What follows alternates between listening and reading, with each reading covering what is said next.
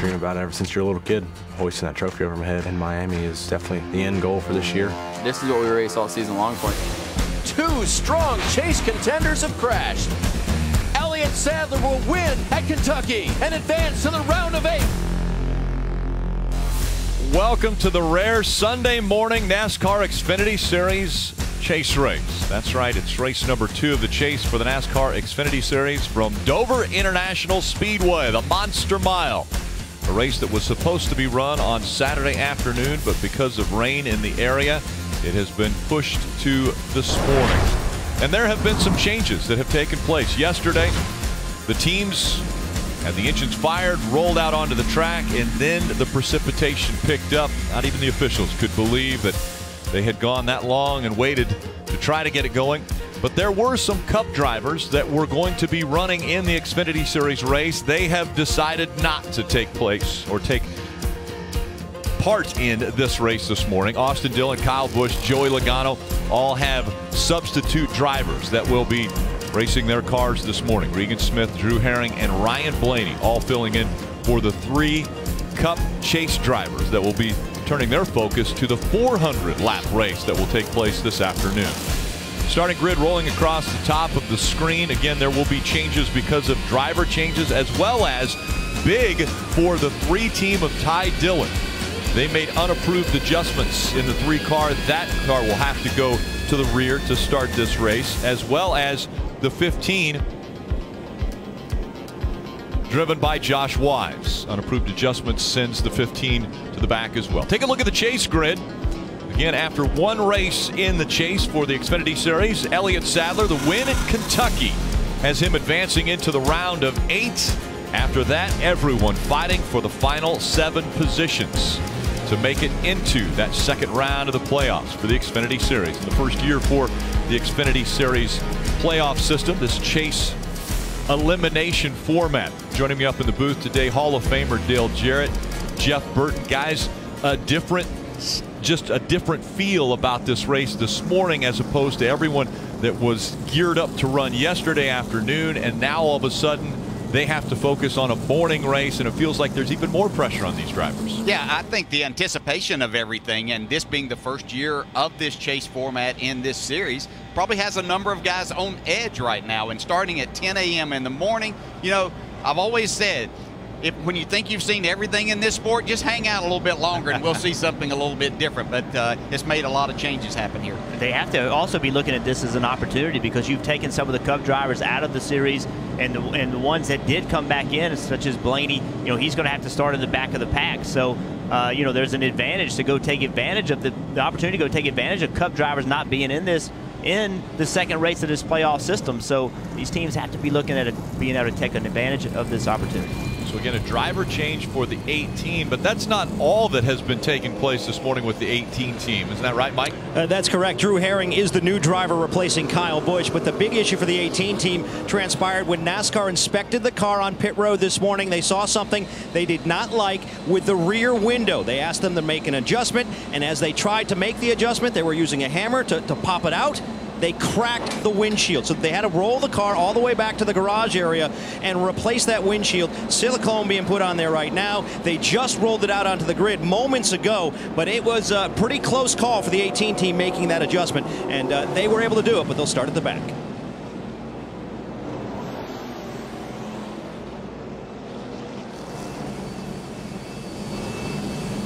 So again, Drew Herring from Benson, North Carolina, the 29-year-old subbing for Kyle Busch, will be focusing on the elimination race for the Cup Series chase. But Drew Herring has been a part of the Joe Gibbs Racing family for uh, some time now. Used to work in the machine shop, uh, but has done a lot of test driving practice. He's filled in for drivers when this situation has come up. Not normally for races, but he has done that in the past as well. No, he's a good little race car driver. He does a lot of testing for Joe Gibbs Racing with, with the Toyota simulator, spends a lot of time in the simulator, so he has a tremendous amount of seat time in the simulator, but also when he gets an opportunity, he does a really good job in these race cars. He really does an outstanding job, but kind of a reversal of what he's been accustomed to. He's the one usually setting the car up for another driver to come in. Now, he was called here uh, last night uh, to, to, come here and be a part of this, and gosh, you, who wouldn't take that call and say, yeah, yeah, I'll be there. if I have to drive up all night, I'll be there. That's a great phone call, isn't it? That's the one you're waiting for. Let's listen into the 62 team communications. This is what they had to say getting ready for this race. Talking to you on a Sunday. Did something happen to my career? Oh, no, wait, never mind.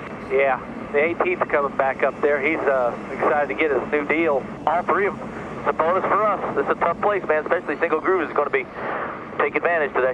Yeah, 10-4 on that. Actually, yesterday it came in a little quicker than it did on Friday, but uh, I'll keep you informed what's going on there. And we're going to keep our eye on the 18. We saw Drew Herring bring the 18 down onto pit road again. They were really scrambling to get the air pressure set and everything because they literally just minute before they were firing the engines, they were still in the garage area. And the crews came and grabbed something, so uh, that will send the 18 back out onto the track. And of course, it will have to start. The 18 will start in the back of the field because of a driver change. It was supposed to be Kyle Busch. It will now be Drew Herring. So they'll start in the back of this field and the adjustments that they had to make when they put the new rear window in the back of that car as well. With more on the three, let's go to Dave Burns. Well, Rick, there's something going on right now, and the normally very accommodating Nick Harrison, crew chief, has not been able to speak to me yet about it. He's been in contact with NASCAR. He's been on his phone texting back and forth with NASCAR uh, officials up in the booth to try to argue his point. I don't know what the point is, but they were told that they'd have to go to the rear of the field for unapproved adjustments. Now, you, as for right now, the three car is still in his seventh starting position, hasn't gone back yet, and I haven't been able to talk to Nick yet because he's still arguing his point. So we'll find out a little bit about that. Again, they were told unapproved adjustments, uh, and so they were sent to the, or being told they were sent to the back of the field. But obviously, right now, there's a little bit of question as to what that is uh, that they are being sent to the back for. Now, a week ago, it was a tough battle between the three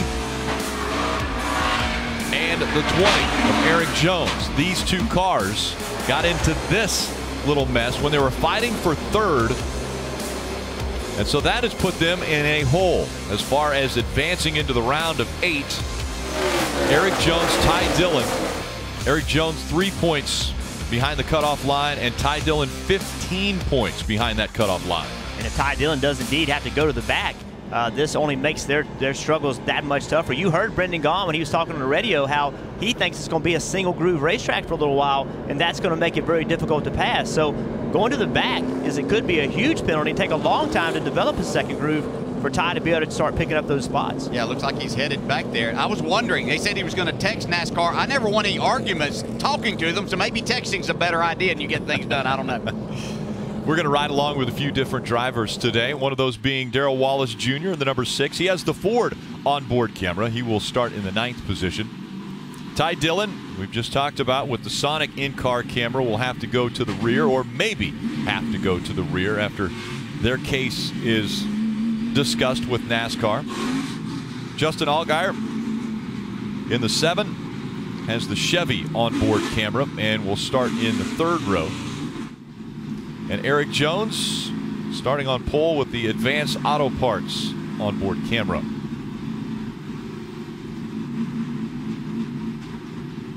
You can watch the chase for the NASCAR Xfinity Series with the NBC Sports app, you get closer with additional camera angles, driver stats, track information. You can watch live anywhere on any device. Find out more at NBCSports.com/live want to listen into Justin Allgaier and the team communications here just moments ago.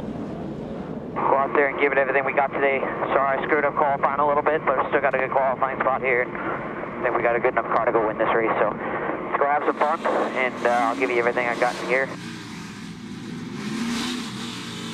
Again, an opportunity for the Xfinity Series regulars when you take three very good drivers and take them out of the seat, uh, Cup regulars, and you have people that are looking to gain points, especially like a Ty Dillon uh, and an Erik Jones, guys that are in need of gaining points so that they can advance into the next round. I think the key, though, is recognizing the situation that you're in. And we saw last week everybody got exceptionally aggressive, had a lot of cautions, a lot of wrecks, a lot of people dug themselves holes. So in the points. You just cannot afford another bad race. So you, you got Ty Dillon going to the back. He's going to have to control his emotions, understand that it's a long day. You're not going to make it up in one segment. It's going to be a grind. Take your time. Don't push too hard. Yeah, I think that's the problem. I think Ty Dillon's under the most pressure right now because of what happened last week. And he, you know, when he was rolling off yesterday, he was in his regular starting position, everything good. Now, an early morning and headed to the back here. Yeah, he actually rolled off yesterday, yeah. and so uh, they did not get the green flag yesterday. That's why it was postponed. The green flag coming 19 hours after it was scheduled to fly, and there we see the two of Regan Smith, one of the three substitute drivers for chase drivers. Regan Smith has a win a year ago at this very racetrack. Field all in line now behind Erik Jones and Alex Bowman making up row number one. As they come out of turn number four, the second race of the Chase for the Xfinity Series is underway from Dover.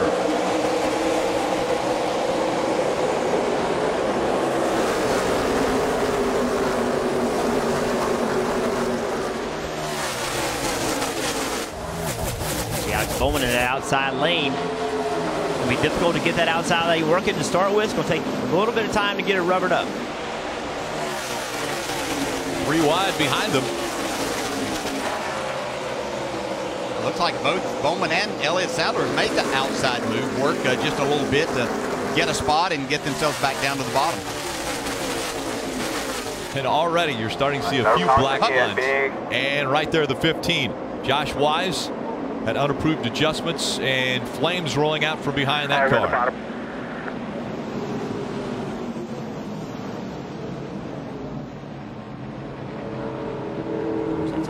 Engine failure or oil line off. You can see the you can see the fire underneath the car. It would indicate there was some sort of oil that was burning on the exhaust pipes. Fireball that one, guys. He's in the back side of the garage.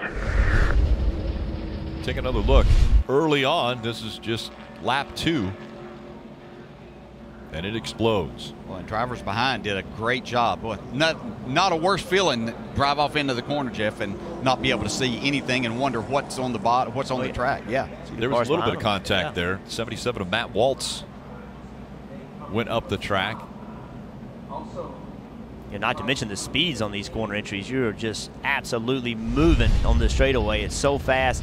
Driving into turn one, a lot of throttle. So when something happens here on corner entry, it is a, uh, if you don't hit something, you've done a great job. Takes your breath away. So we saw Matt Waltz in the 77 slide up the track, hit Matt, Matt DiBenedetto in the 10.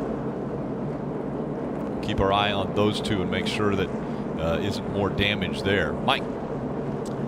Well, Rick, as we all know, there is a big race coming up just after this one, the Sprint Cup Series elimination race. And there are a number of drivers on the bubble that are paying very close attention to this race, including Jamie McMurray. He's below the cutoff line. So I found it rather curious that he was on Brennan Poole's pit box this morning. I went up and I asked him, what are you trying to learn from watching this race? It was a very serious racing question. He just laughed and pointed in front of him to his young son Carter. He said, I'm not here to learn anything. I'm here to play father. We've been in the motor coach for three days. This is the first opportunity I've, I've been able to have with my young son Carter to actually watch a race from the top of the pit box. And they're enjoying that today before Jamie has to put on his fire suit and go racing this afternoon. Great After three days in the motorhome with a young man like that, it's, it's time to get out. that's right. It, is, it needs to stretch his legs a little bit. Yeah, Carter needed out, but so did Jamie. So yeah, right. it works well for everybody. Little crew chief help right there. That's right. Saying there's a few things you need to learn when you're up on top of the pit box. Yeah, I'm not thumbs up yet. Yeah. I hadn't even made a call. So. we'll deal with that when it happens. Again, an early caution coming out for Josh Wise and that engine expiring.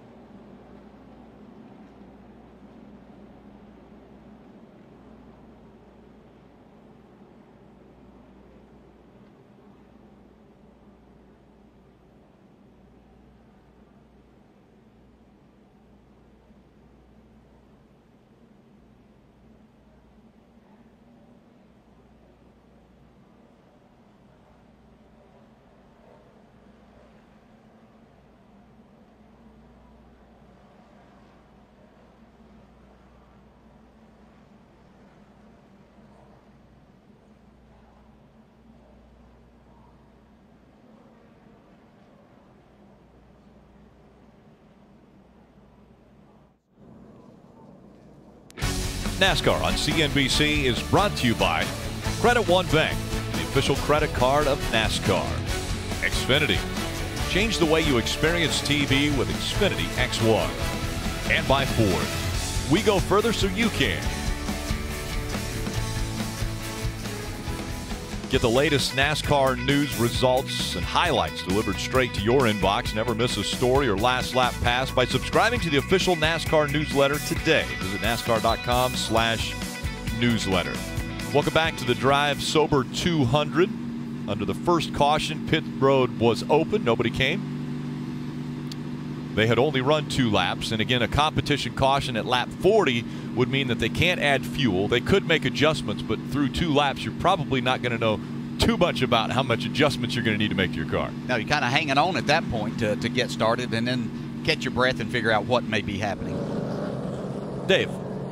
Rick, while they're cleaning up on the track, we get to ask Nick Harrison, the crew chief for Ty Dillon, what exactly was going on and why NASCAR sent you to the rear to start? Um, we had put silicone down the deck fin, the shark fin on the deck lid, and uh, it was done yesterday prior to tech. I think there was question that we might have did it this morning. It was called unapproved adjustment, but I, I kind of talked to Wayne and always respect Wayne, and, and I know his judgment's always right. And it was just one of those deals where I was unaware that that was a, a part of the a, a rules infraction. You know, there's there's question that there's literature on it, but you know, it is what it is.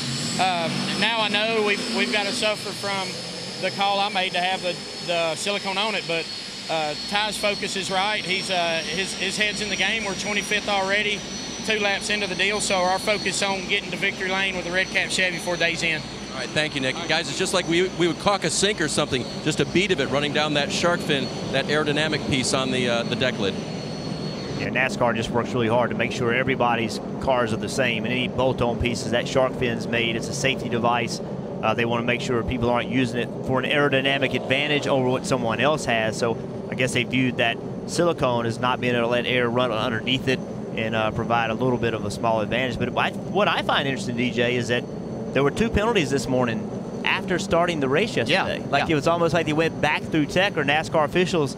They went through tech before the race, but then Right. NASCAR officials went and looked again, and they found two things that they didn't like after being on the racetrack yesterday. That's very unusual. So it shows you, as this chase has started, NASCAR is looking exceptionally hard to make sure these teams are playing within the rules. Yeah, and that's on the, the left uh, side there on the deck lid. And so, as you pointed out, any air you can keep to make sure that it's helping to do anything that it can as far as downforce, side force. They're just looking for a little bit. And I, you wouldn't think there would be a rule against something as simple as silicone on there, but uh, certainly it, it looks like that there is for, for NASCAR and and uh, in their opinion. But as Jeff pointed out, I think whether you know maybe yesterday it slipped by there was a lot of things happening with with the weather and everything and they can't look at everything but when they get a little, little bit Yeah. more time you better be careful So the first caution has come out for Josh Wise, and right behind Josh Wise, when he had the engine expire, uh, the 10 of Matt DiBenedetto was up there, as well as the 77 of Matt Waltz. And you see how Waltz got up into the 10 of Matt DiBenedetto, and then uh, Matt obviously uh, wasn't expecting that, and uh, yeah, Josh and Matt discussing what took place there. a lot of damage there pretty pretty hard hit to start with So an unfortunate day for both drivers, standing outside of their cars already. Josh Wise and Matt DiBenedetto. You can imagine the disappointment. You got in your race car yesterday, you got going, then it rained, then you waited all night long, you get in the car in a wreck on lap two, you're involved in a wreck. So exceptionally disappointed. Let's listen into the 11 team communications. How good? We'll regroup here. I think outside was looking good. You was the driver, wasn't you, Jason? I, when I saw him getting a run down into three, I knew he was getting ready driving in there way too hard for the first lap here. I love what you said. I mean, he's coming at you. I mean, when he came in eye view, he was, had him jacked up. That was spotter coverage presented by Liberty Mutual Insurance, helping drivers worry less and a difficult place to spot from. Uh, It is, yeah. And that was my son Jason, uh, who spots for Blake Koch and will uh, later on today uh, go with uh, Ryan Newman. But uh, I was talking to him earlier, and he was talking about what a good car they had. Didn't get the qualifying lap, but he thought Blake was going to do very well today. But sounded like he might have to calm his driver down just a little bit there to start with. Well, again, that's judging the speed of that second groove right now. You know, you really Yeah. don't know how much grip it has. And it's done nothing but rain since these cars got off the racetrack. So as this track rubbers up a little bit, you'll probably be able to be a little more aggressive on corner entry into one and into. We've touched a little bit on the fact that there are double duty, not only drivers doing double duty, but pit crews doing double yeah. duty. Well, spotters also doing double duty. There are a lot of Cup spotters that also spot for the Xfinity Series, so they're putting in 600 laps today. Yeah, I went and saw some of the spotters this morning, and they, they told me that about 90% of the spotters that are spotting today will spot later today for the Cup race. So these guys have a full day. It's not physically difficult, they told me, but mentally and emotionally, it's a little bit straining. They're going to have to stay focused for 600 miles rather than what they anticipated 400. Erik Jones and Daniel Suarez making up the front row now as they come into the restart zone. Green flag back in the air.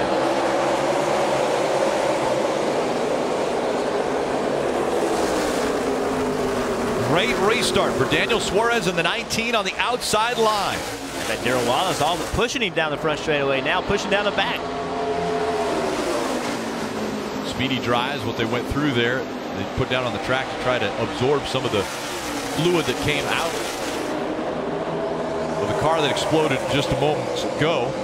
Well, DJ Darrell Wallace right now, he knows he has to fight hard on the outside. If he doesn't get by this 88, he feels like there's a line coming. If he, if he cannot clear him, he could lose four or five spots here.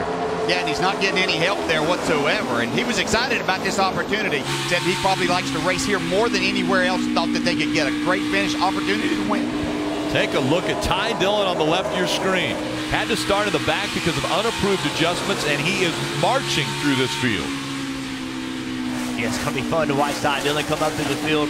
We know how aggressive he is. He's going to be pushing every button, doing everything he can to get to the front. An already naturally aggressive driver being put to the back is going to make him that much more aggressive.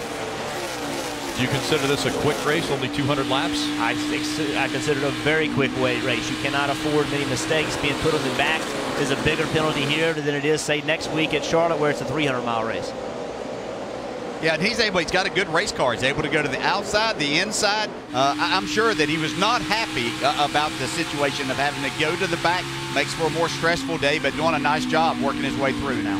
Historically, Ty Dillon has actually ended up doing well when starting at the rear. When he starts in the back, 12th is the worst that he has finished after starting in the back. This is the sixth time that Ty Dillon has had to start in the back of the field, and we see him continuing to march forward. Already up to 19. Yeah, he's approaching. You see Corey LaJoie right there in the 24 car, getting a shot this weekend. a lot of success at the K&N level. But right in front of Ty Dillon, that 11 car of Blake Koch. Here's a guy that's in the chase. When you look in the mirror, you know one of your competitors had to start in the back, and here he is all the way on your back bumper already on lap 15. That's telling you, hey, we got to get going. We got to find a way to make our race car better because we're going to give up a lot of points if we don't. Little bobble there by Ty Dillon in the center of the turn. But again, he's got his sights set on the 11 of Blake Koch right now. 12 chase drivers all fighting for eight spots. Elliott Sadler with a win at Kentucky a week ago has locked himself into the round of eight. Dale, this is what's so hard about Dover. He's caught, he's caught the 11 car. Now what do you yeah. do with him? There is no second groove just yet. It hasn't worked up. So how do you pass him? You got to find a way to carry more speed on corner X. You can see right there he makes an aggressive move to get underneath him, getting in the corner. But that's with, when this track's a one groove track, that's why it's so hard to pass. Yeah, you're exactly right. He could utilize that outside against some cars that were quite a bit slower, but now he's catching cars that, that have good speed here. So as Jeff pointed out, it's going to be much more difficult. But he's doing a nice job. He, he was patient there, waited till he got the run that he needed, and then took the spot away. Uh, looks like his car, he feels very comfortable getting down into the corner, and that's a good move to be able to have here. Yeah, I like what he's doing. He's just kind of showing his car. He's really not yeah. bad position, but he gets about three quarter way down the straightaway, turns left, and lets that guy in front of him know, hey, I'm quicker than you. I'm coming. And they haven't put up the fight. So, you know, that's Ty Dillon using his head, just saying, look, you know I'm faster than you. Give me this spot. Now, right here, he just earned this, this position on Jeremy Clements by just turning underneath him off turn four. And already up to the 15th spot for Ty Dillon. Kelly. Go ahead, Kelly saw Ty Dillon get around another chase driver, the 11 of Blake Koch. Well, as the three got by, the message from his crew chief, Chris Rice, was, all right, now you got to go with that three car. I know you're a little bit tight, but we got a lot of more cars coming. So the message for him was to try to stick with that three, but he has fallen back a couple of spots, Dave. Another reason three running so well. Brand new race car, not a new generation per se, but a car with a lot of updates on it that they hope they like well enough that they'll take the extra time to turn it around immediately and run it at Charlotte. So far, it's looking like that might be what they do, Marty.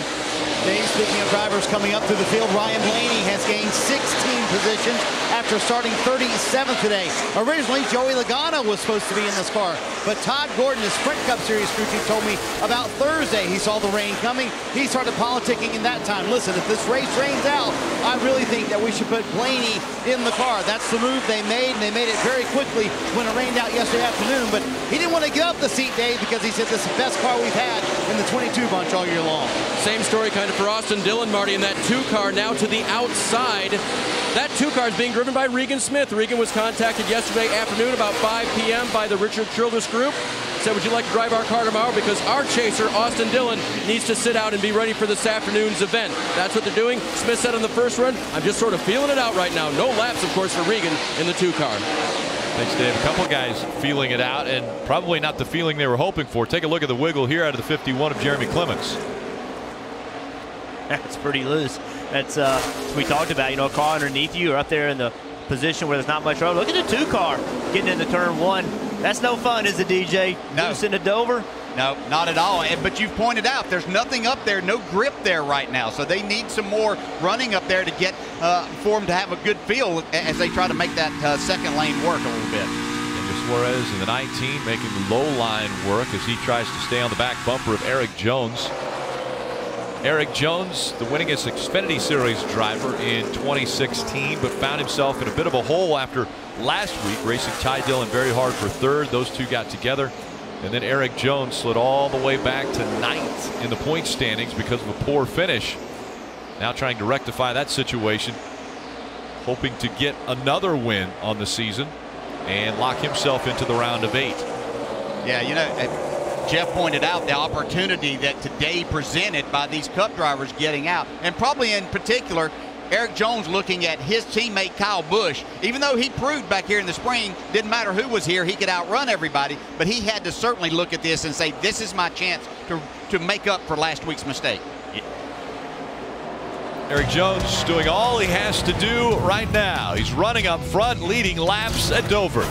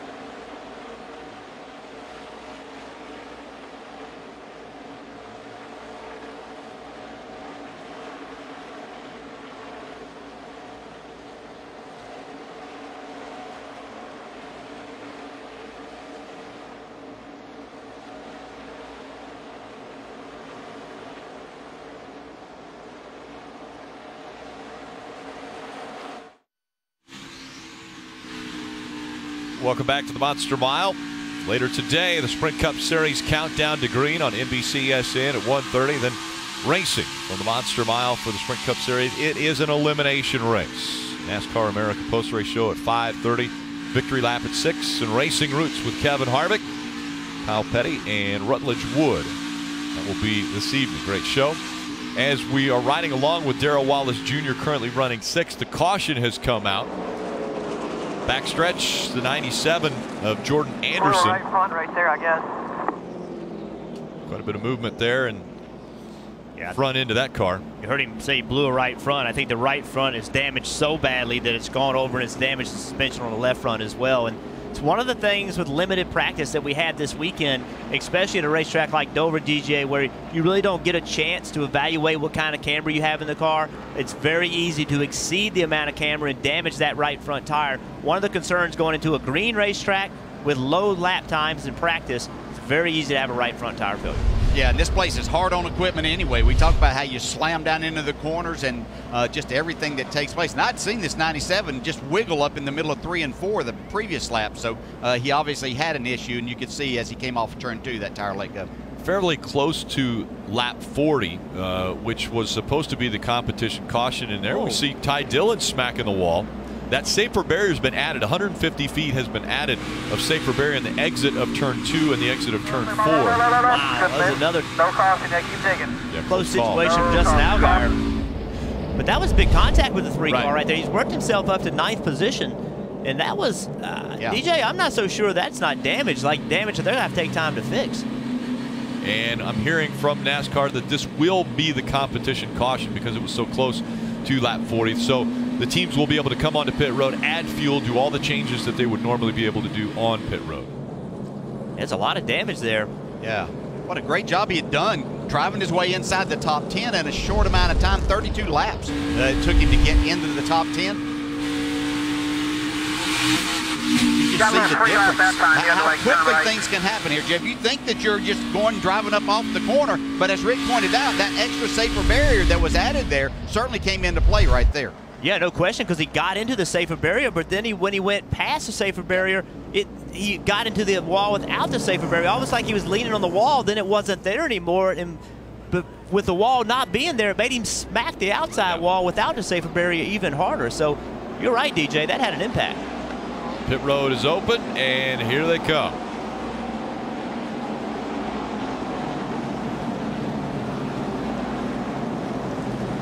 Mike. And Alex Bowman, your upper left corner in the 88 car coming down pit road. He's been saying that the car's been free in and snaps loose, off. They're going to try to tighten him up with an air pressure adjustment, also a wedge adjustment there as well. Justin Allgaier, meanwhile, experiencing a very tight race car, saying the right front tire feels like it has 3,000 pounds of air in it. They're going to make an air pressure adjustment there and also a wedge adjustment on the 7 car. Marty? Daniel Suarez tried to get the lead from his teammate Erik Jones. You See just two right side tires for the 19. He said it was loose on entry, tight on exit for Erik Jones. He said his car way too free, fighting it like crazy was his quote off the corner. Loose for Erik Jones. Track bar adjustments for both of those race cars. So the caution comes out, and involved in the issue, at least with the wall, was the three of Ty Dillon, a chaser trying to make his way into the top eight.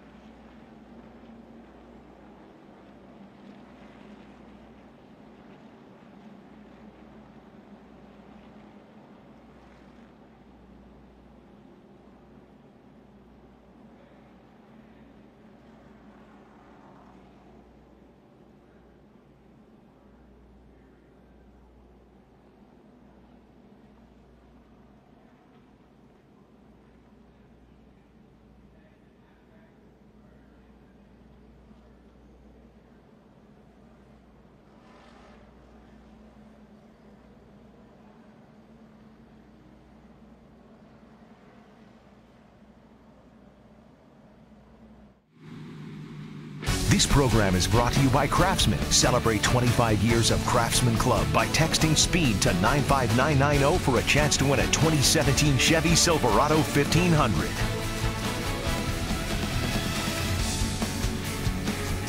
And welcome back to the Dover International Speedway as this is the second race of the chase for the NASCAR Xfinity Series. And already our second caution has come out. Let's go back into pit road and onto pit road with Dave Burns. Hey guys, uh, on track now for Ty Dillon after repairs on pit road. The discussion was about the whole side of the car because if he get, hit the front hard enough to change the alignment, that's a concern. But he doesn't believe that's a big deal. More toward the rear of the car, and they just basically pulled out the fender there. You can see the scrapes all the way down the side, but they think it's going to be okay having just worked on the right rear. And we see this impact. You see Ty gets loose coming off the corner, makes contact with the safety barrier, then boom, hits the outside wall. It's almost like that safer, safer barrier in a strange kind of way. It shot him back out of the racetrack, and then he went back and got into the wall. And typically we'll see a, you know, we'll see a little, you know, right here is what it'll look like. There'll be a piece of steel that connects the, the wall to the safer barrier. At this racetrack, we don't see that. I don't know if that had an impact or not, but certainly different than what we normally see. Yeah, you know, and in the spring, that wasn't there, and Right. he would have just slid. He, that, that car would have never touched the wall whatsoever, I don't believe, in, in that point. But we need the safer barrier there. Oh yeah. Well, there you go. That's a great. That's see. Last year, the, the safer barrier blended into the wall. It, it But came way back. off- yeah, it came off the safer barrier and it blended into the concrete wall. Here, it's just a blunt end. And I don't know the impact of that, but it's certainly different than what we normally see. So, don't want to criticize the track for putting the safer barriers in because we need it, but maybe we need to reevaluate the end of that wall. Both drivers held their position. Erik Jones has chosen the outside line for this restart. Green flag back in the air. 18 car got a bad restart on the bottom.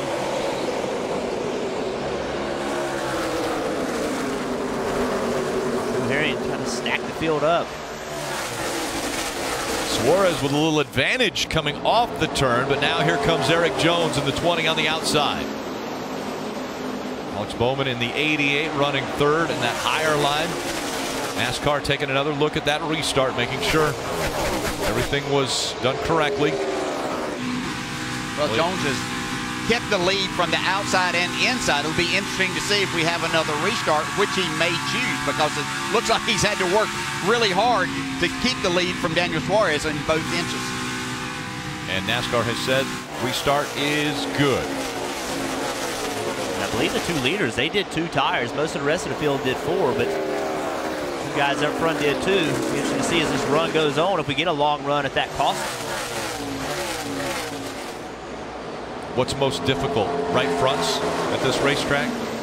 Well, the problem Lean is on that the most? Well, you know, being loose here is difficult. You don't want the car to be loose, but you tend to, if you don't want to be loose, you tend to be too tight. And when you're too tight, that really is hard on the right front tire.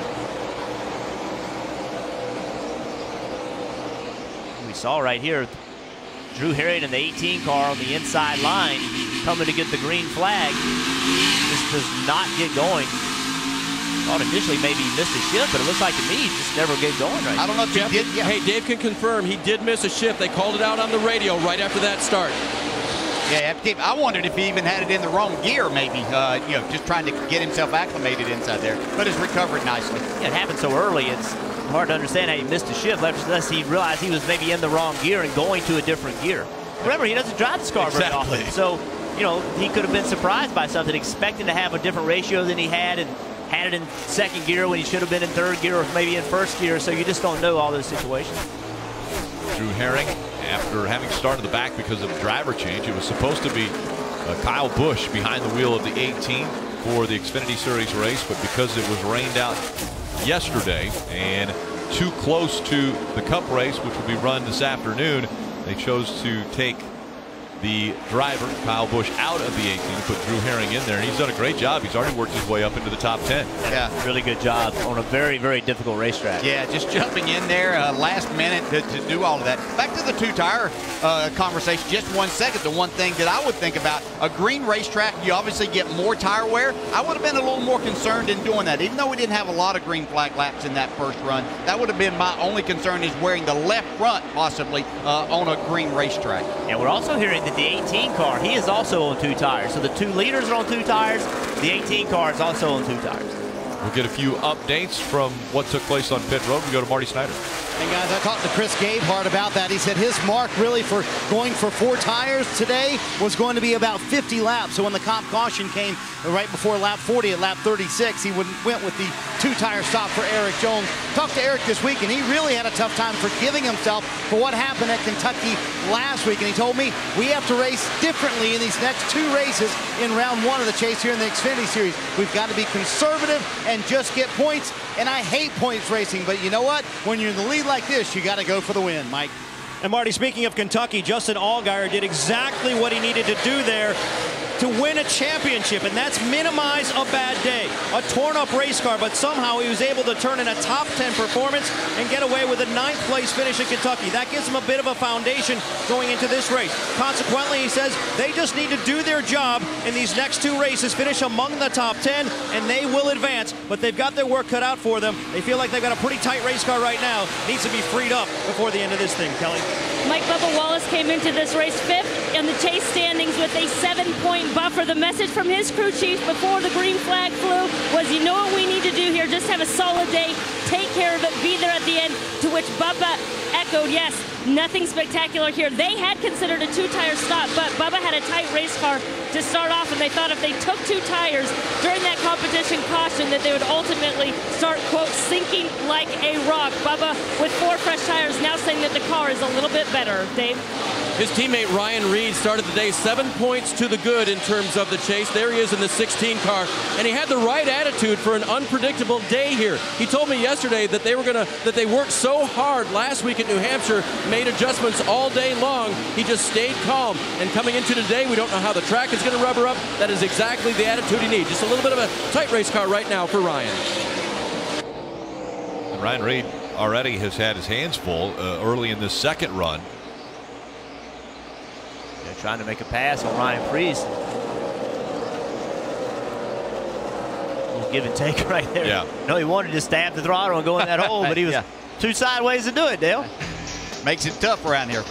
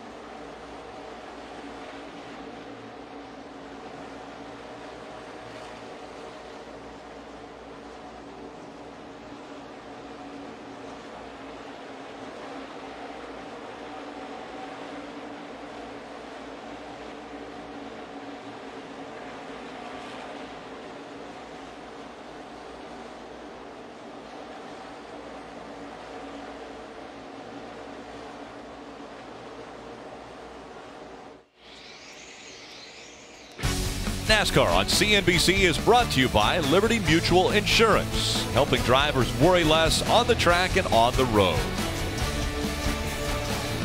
Spotters up top, hard into the wall, the 25. Ryan Ellis coming out of turn number four. A lot of damage to both the right side and left side now.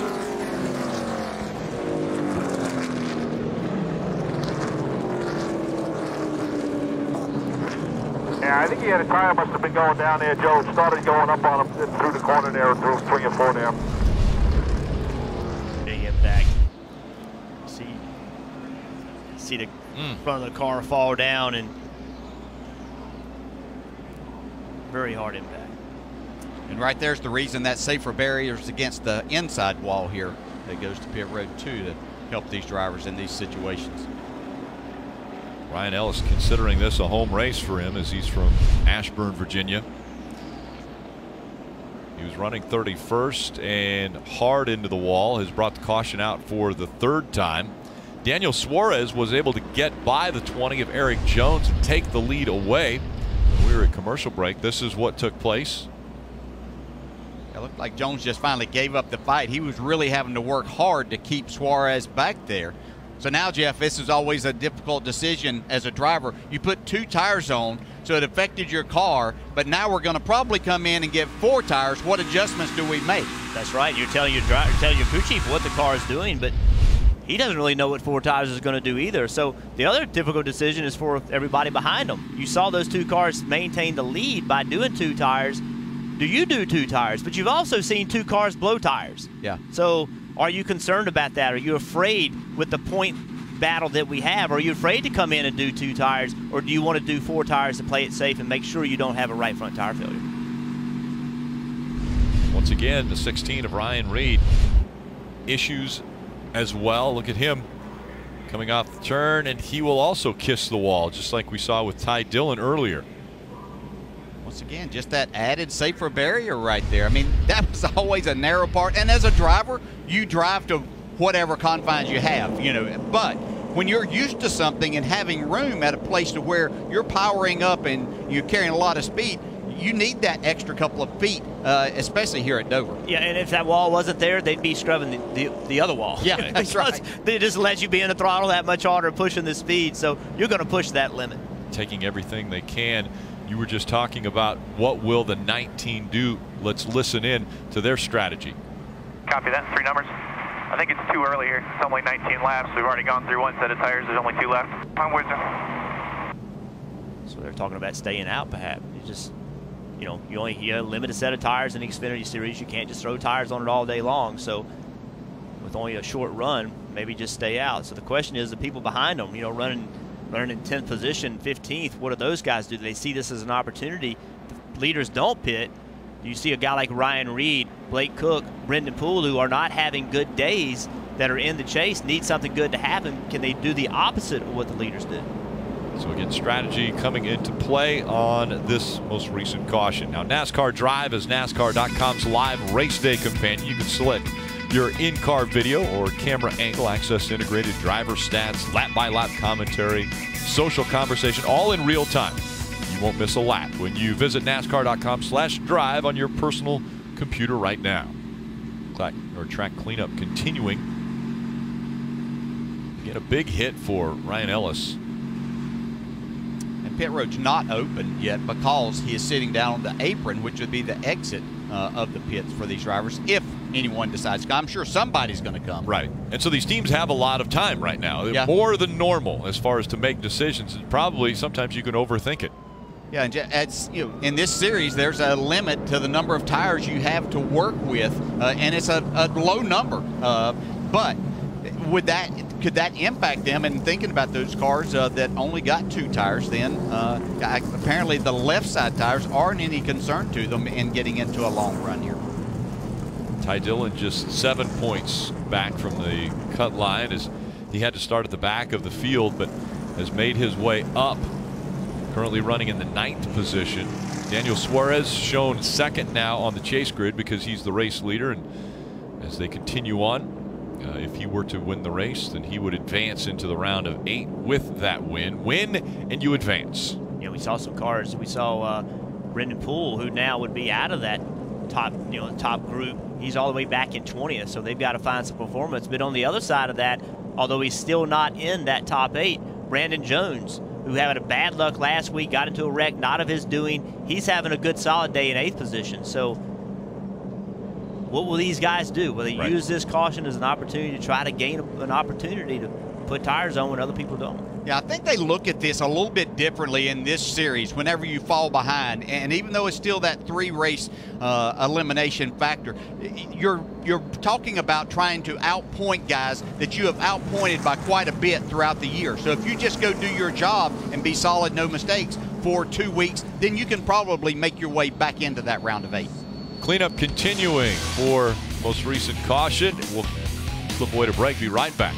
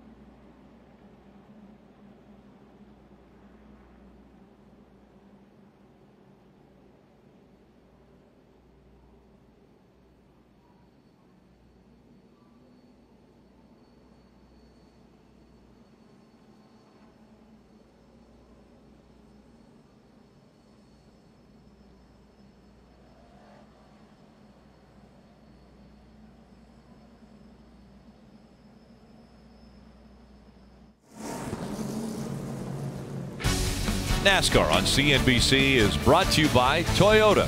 Let's go places. Craftsman. If it matters to you, it matters to us. Craftsman. When it matters. And by Credit One Bank. The official credit card of NASCAR. Under the third caution of the day, this most recent one for the 25 of Ryan Ellis slamming into the wall coming off of turn four. Pit road's open now. We're going to see going to try to gain an advantage from the back. I think the leaders are going to stay out from what we've heard. So the top two are staying on the racetrack. Everybody's staying out. Quite a few staying out. Goes all the way back to the two. And so we see Regan Smith leading group of cars, and he was 14th. So Regan Smith back, a lot of drivers taking advantage of maybe trying to get fresher tires. Utilize that to move up through this field. Dave. 16 of Ryan Reed will take on four at this time. His car was just a little bit tight on the last run. Uh, Regan Smith is also on pit road on and off, and he's in the tire conserve mode. You guys were talking about the allotment they give them. Just a chassis adjustment for the two of Smith on this time as well, Mike. Brennan Poole on pit road. They just made some adjustment, a track bar adjustment. They also put some tape on the grill. The car's just too tight behind people. No tires or fuel, however. Again, because of the limited number of tires, you have to conserve because only 67 laps into this 200 lap race, they know how important those tires will be later in the race. Marty? Rick, we saw Erik Jones give up the lead to his teammate Daniel Suarez. Been fighting the handling on that 20 car. Take a listen. It's weird, you know, how it, it gets tight. It's like when the rubber first gets laid down, it gets tight in the center and exit. We can lay some more down, then it gets loose in the center, but stays pretty tight on exit. I can I can kind of work it but I'm using the apron, you know. And Jeff, we've talked all weekend long about how much this racetrack changes. Certainly going to be the case here in the Xfinity Series race. That's what these drivers are fighting right now. Well, it is going to change, and what's amazing is how it changes, you know, even without putting tires on. So if you look at the racetrack right now, it's completely white. There's no rubber on the racetrack because the rubber gets picked up. So you go through these transitions based on when the green flag falls and when the caution falls the next time. It's not really from the first lap to the 200th lap. It's more from caution to caution because the rubber gets picked back up. So it's very unique at this racetrack how that happens. You can see how white it is. You can see where the cars have been running under caution. It's almost like no one's been on the racetrack all day. Mike Massaro.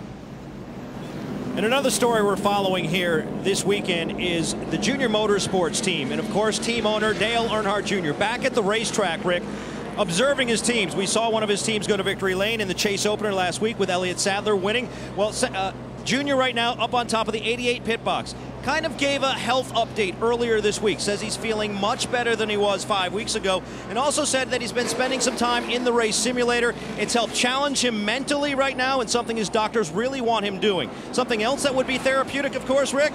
One of his cars going to victory lane here again today, and they've been running awfully well. Yeah, absolutely. Front row made up of Daniel Suarez and Erik Jones. Suarez has decided the outside line will work best for him. Green flag back in the air.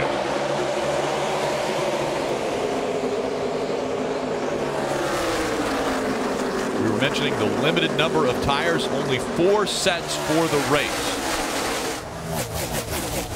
Big move there by Justin Allgaier to take that second spot away. Yeah, look who's popped into fourth. Blaney, who had to start in the back of the field, he's worked himself up to fourth. Blaney in the 22. Just behind him, the 88 of Alex Bowman. So the 18 of Drew Herring, he got into the outside wall off of turn four just a little bit. Ty Dillon looked to the bottom, trying to get by, and he will make that pass on Herring.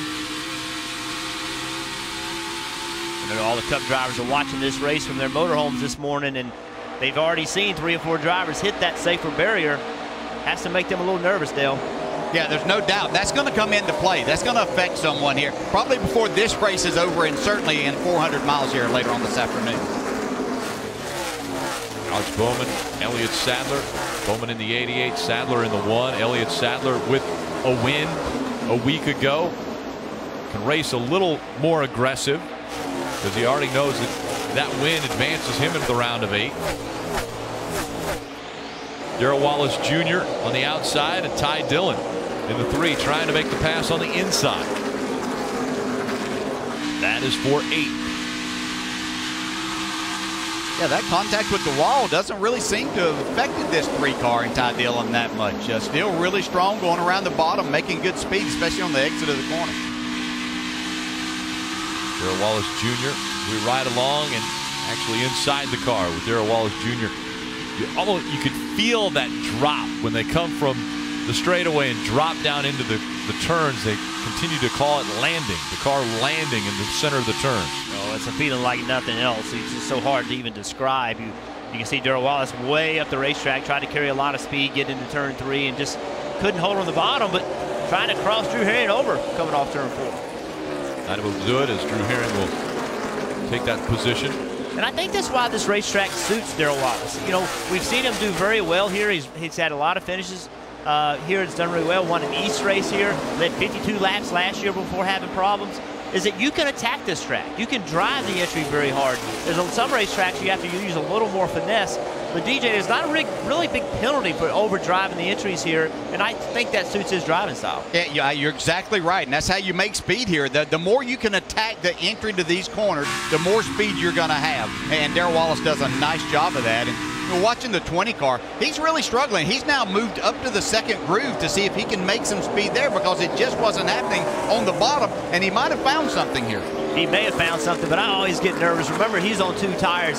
I don't ever want to be the first guy running that high. There's no rubber on the racetrack. It's harder on tires when there is no rubber on the racetrack. I'm always nervous to be the first one getting there at this racetrack because it is so hard on tires. But you have to go where your car wants it to go if that's where it handles the best, and that's where you put it. And Jeff, he told his crew chief, Chris Gabehart, a moment ago, he said, if I move up to that second lane, it's a little bit better. When it's on the bottom, it's evil. But Ryan Blaney, how about the run for him from the back of the field? 37th, now challenging for the third position. And you can see why Joey Logano didn't want to get out of this car. They told me best car we've had all year long in this 22 stable. And this is a team who has not won all year long as he tries to get that third spot from Erik Jones. But Ryan Blaney coming up through the field very smartly with a car that's just a little bit tight on exit, but very happy with it.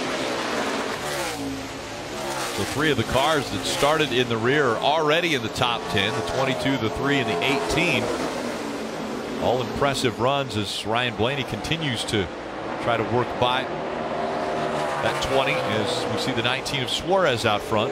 Yeah, just watching him. You watch him. He's still right around the bottom, Jeff, which is what you want as a driver if you're able to do that. He's on two tires, and this is a driver and team that always seems to have a good car in the longer run. They might not fire off as fast as some others, but he's very good at, at conserving and, and making speed and, and really being good at the end of a run, and that could be beneficial here this afternoon. Yeah, I love the fact that he's on the bottom of the racetrack, just rolling the bottle, carrying a lot of speed on corner exit. Uh, and again, I, I, I, just think it's a little easier on tires at this point in the race. I think as the track rubber's up, then the outside may be easier. But this point, especially with those two tires, I sure think the bottom's the way to go. Marty. And Daniel Suarez up front with the lead. He said the car much better under the last caution. He said it's much better on the run currently, just a little tight from center exit off. Remember, these guys had a shot to win here in June. Felt like they had the car to win the Xfinity Series racing here in June, but they got a speeding penalty on pit road. Scott Graves, the crew chief for Daniel Suarez, said, listen, we cannot have that today. It's a no-mistake day, if nothing else. They need to advance that next round, Dave. The Kentucky crash for the three-driver Ty Dillon was, of course, at the car of the 20 of, uh, of Erik Jones. And this week, even though it didn't get him his finishing position back, it was at least a reminder that Jones accepted responsibility. A text from Erik to Ty that said, yeah, that was my bad. Right now, the car about perfect, according to the driver, Kelly. The young Brandon Jones qualified 16th, running in the seventh position. This is just his second race here at Dover, and he has said it can be a little bit intimidating. So to get some extra experience, he spent time on a simulator to get extra laps. He could actually adjust the weather settings. So he did so to accommodate what they were expecting to see here uh, this weekend. The team telling him right now that his one and two look really good, telling him to work on corners three and four, Mike been a bit of a challenge for Brennan Poole this weekend, Kelly. Struggled in practice, and one of the contributing factors may be the fact that Kyle Larson, who sometimes drives the 42 in the Xfinity Series as his teammate, is not behind the wheel of that race car this week. Now, Brennan Poole likes to bounce ideas off of Larson, and Larson has mentored him to a degree with his experience and advice. So much, in fact, that between practices this weekend, Brennan Poole went to the Sprint Cup Series garage to talk with Kyle Larson to get some advice. Right now, he's having to deal with a tight race car, especially especially in traffic as he tries to make his way toward the top 10. He's outside of it right now, Rick. Thanks, Mike. So out front, Daniel Suarez has led 30 laps. It's the first laps that he has led at this racetrack.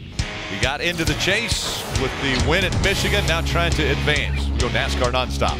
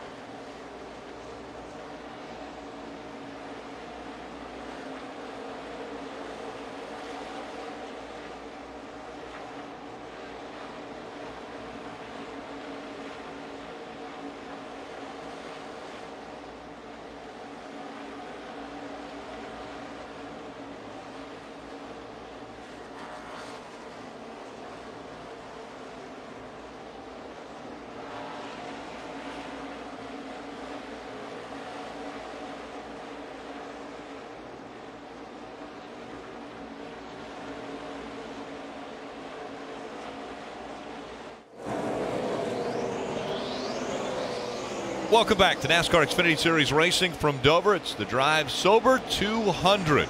Let's take a look at this week's Ford Drive to the Championship.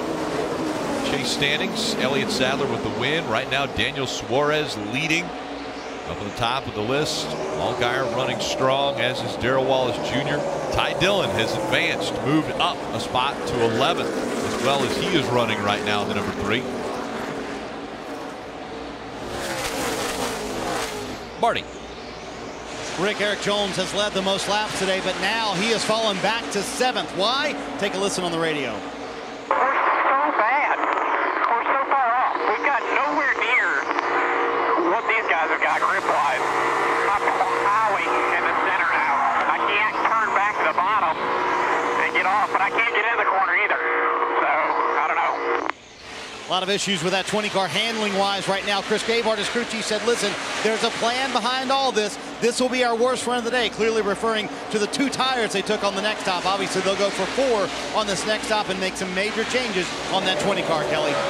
Brendan Gaughan came into this race third on the chase grid after making what he called chicken salad out of last week's race at Kentucky. They finished sixth in spite of him getting into the wall twice, but he said, nobody quit. We have a no quit attitude around here. No matter who screws up, nobody quits, and it seems to be paying off for this team. Brendan Gaughan, you see right now running 12th, has said that his car is a little bit too tight. He's been searching around for better lines on this racetrack, Marty.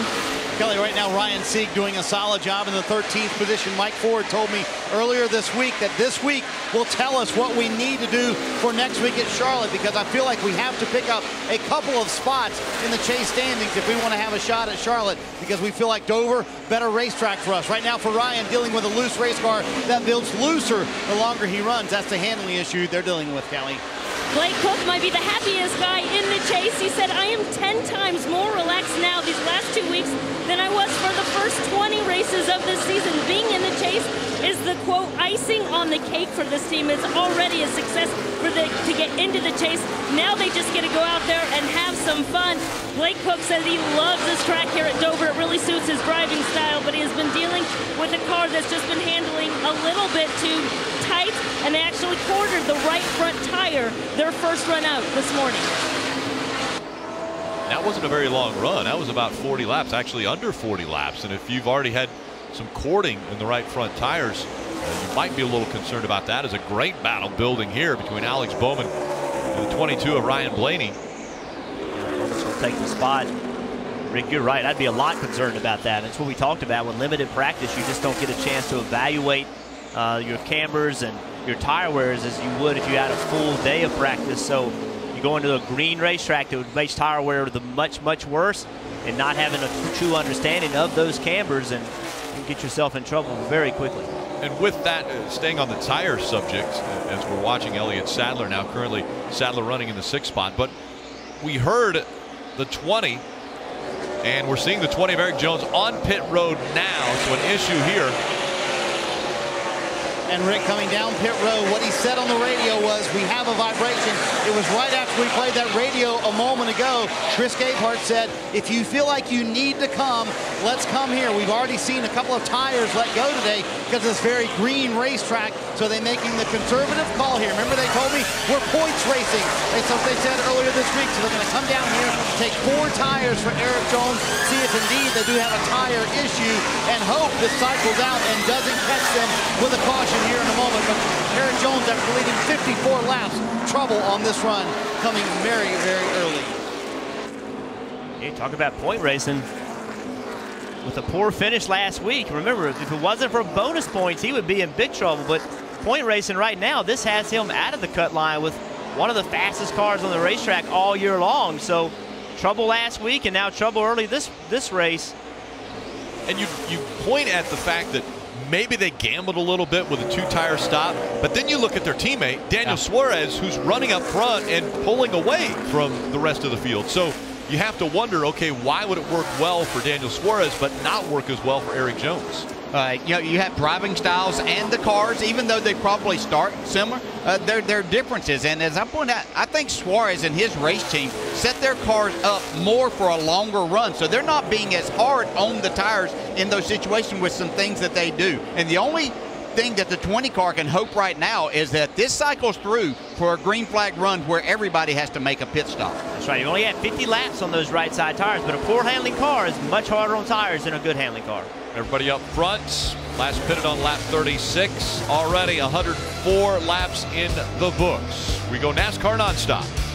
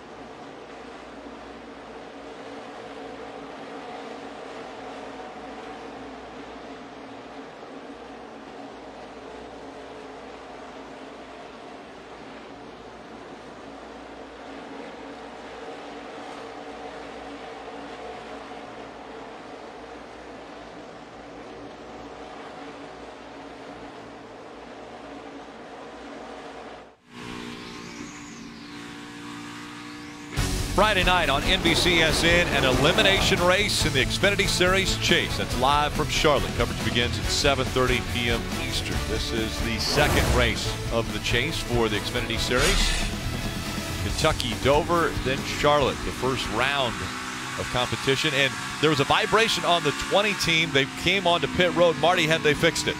Checked all four tires that came off of that 20 car of Erik Jones. They all look fine. They did ask him, is the vibration any better after putting four new Goodyears on? He said it's better, but not much. That's a little bit of concern because it could be a bigger issue going on with the 20 car. Could be the racetrack, but right now, no panic in the 20 camp. They want this to cycle out for everyone else. His teammate up front, Daniel Suarez, the leader right now. He too now saying he has a vibration, but these leaders should be coming here in about 10 to 12 laps or so for their green flag stop. So not a lot of concern. Just check in with Scott Graves, Daniel Suarez is crew chief, and he said not a lot of concern right now, but they too have a vibration. Remember, they also took right side tires only on their first stop of the day.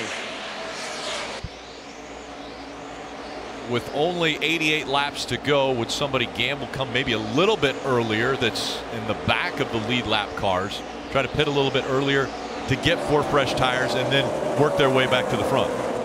Yeah, I, I think that's a little bit of a gamble, but right now this 20 car of Erik Jones, he's two laps down, but the next car in front of him is the leader. So he is pushing exceptionally hard to try to get to the leader to get by him so that he can be on, you know, he'll be only be one lap down. So he's got to push hard right now. Hope the caution doesn't come out in the next seven or eight laps because I think if it doesn't, he will get to the leader and get himself where he's only one lap down. Yeah, but you have to have to kind of temper that urge to go run too hard and run the tires off of this thing once again, you find yourself in a worse position. We look at the Toyota driver update, and Daniel Suarez out front. Erik Jones, again, two laps down right now, running 22nd. And coming into this race, Erik Jones has the most wins of all Xfinity Series drivers, and yet is outside the cut line as far as advancing into the next round. You make a great point, DJ. Is how hard do you push it? I think you got to push it really hard here. I think it's such a huge difference between being two laps down and one lap down that I just think you have to push exceptionally hard. At the caution, if he gets by him, I think then back up. I think then back up and just run a nice, easy pace. But I think you have to push hard. Now, you may damage your tires. It may cost you later, but say you've got to go to try to get one of your laps back here. And Jeff, that's exactly what Chris Gabehart just told Erik Jones a moment ago. He said they're pitting in about eight to 10 laps. I need you to push as hard as you can right now. Then once they hit, then they'll back off the pace a little bit. Right now, he wants Erik Jones to go as hard as he can, trying to get one of those laps back. Starting to see a few cars making their way to pit road. And here's something that I'm seeing though. The 20 car, yes, he's catching Daniel Suarez. He's got almost much fresher tires. But when Suarez is clear of traffic, he really is not getting beat that much by the 20 car. So I think Jones is still having some issues uh, with the handling of his car. Dave. Third time on pit road today for Regan Smith. First time four tires, last time no tires, but they can't get the looseness out of this race car. You see another chassis adjustment wrench in both sides of the rear there. They'll take four Goodyears and fill it full of Sunoco fuel for Regan and hopefully tighten it up a little bit. Again, the 20 just hoping that they get through this cycle of pit stops because the 20 was on pit road earlier than everyone else. Yeah, he needs for that to happen. He needs a lot of good things to happen here. But if this continues green, and that does happen, but he's still going to be in a position that. around people, man. Let's just say that it goes on and on. He will have to make another pit stop where the rest that are going to come in somewhere here very shortly are going to be able to make it from there. That's what makes this chase battle so difficult. You've got three races to get it done. It's not 36 races or 32 races or 34 races. Once you get in the chase, it's three races. So trouble in the first race now, not having a good start to the second race. The best car all year long could potentially not advance into the next round. Yeah, this car is not very good here. You can No, see he caught up to, to Justin Allgaier here and has not been able to pass him. Suarez is running laps quicker than what Erik Jones is running with much, much fresher tires. Marty. And guys, that's exactly what he just said a moment ago. He said, I'm too loose. I can't race around anybody. I can't catch anyone. Now we're seeing him losing ground to those leaders, even with the much fresher tires on.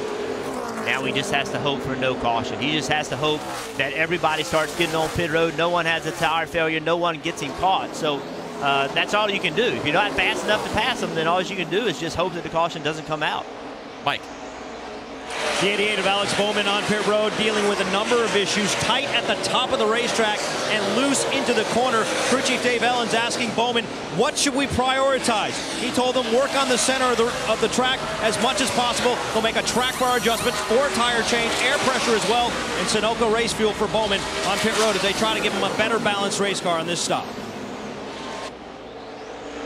Completely different lines as pit stops continue under green flag conditions. Chaser Ryan Sieg on pit road, Rick, and like we said, his car just builds loose and gets looser the longer they run. Wedge and track bar adjustment, trying to tighten it up, Dave. Ty Dillon ran in the top five this whole run, Marty. He called the car about perfect. Slight air pressure adjustment to keep up with the track. Four Goodyear tires, Sunoco fuel to the end. Tough pit road to get on also under these green flag conditions. Uh, very difficult. You try to attack, but you have to be extremely careful not to speed coming in. And a speeding penalty for the 39 of Ryan Sieg. Brendan Gaughan on pit road. Marty. Leader Daniel Suarez making his way slowly down pit road. He did not mention the vibration after mentioning it the first time, just says the car is a little bit too tight on exit, so not a lot of concern here in the 19 camp, but certainly excited to get four fresh Goodyears on it, Mike. Justin Allgaier has been running inside the top five all afternoon long. His only complaint is that the car continues to get tight the longer they run. They've got good fire off speed, however. More tire change, air pressure, and fuel for Allgaier. I think a great race to watch is going to be where Erik Jones cycles out after all of these pit stops. Erik Jones currently 12th, still a lap down as quite a few still have to come to pit road. One of those being the one of Elliott Sadler, who has scored as the race leader, still needing to come to pit road.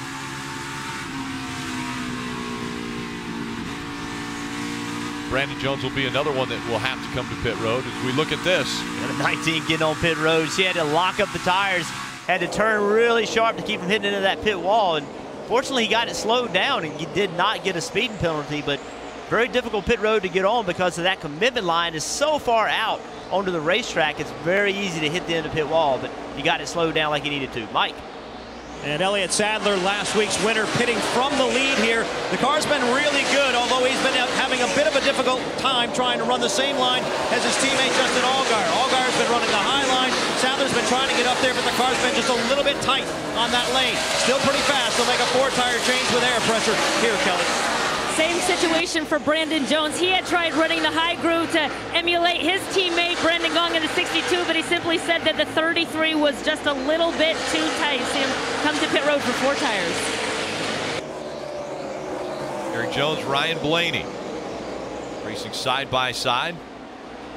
Erik Jones going way up the racetrack, a completely different line that we have been able to see now because of the rubber going down onto the track.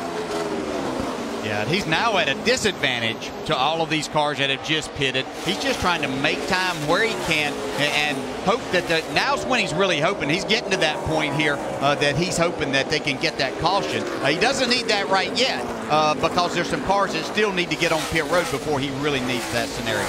There's about six cars that came onto pit road at lap 67 uh, when the rest of the top cars didn't come to pit road. And so right now, they're still out on the racetrack hoping for a caution now to catch a bunch of cars a lap down. And one of those guys is 11 car Blake Koch. So you're talking about potentially making a huge gain in this championship battle. If these cautions fall the right way for him and he can trap a lot of cars a lap down, he could come out of here with a really good finish and help improve himself. Right now, you can see how far up you know, he shows him as winning the race. I don't think that's the goal. The goal is to get the best finish you can get. They don't have a car fast enough to win a race, but he's currently coming into this race, he was in eighth place.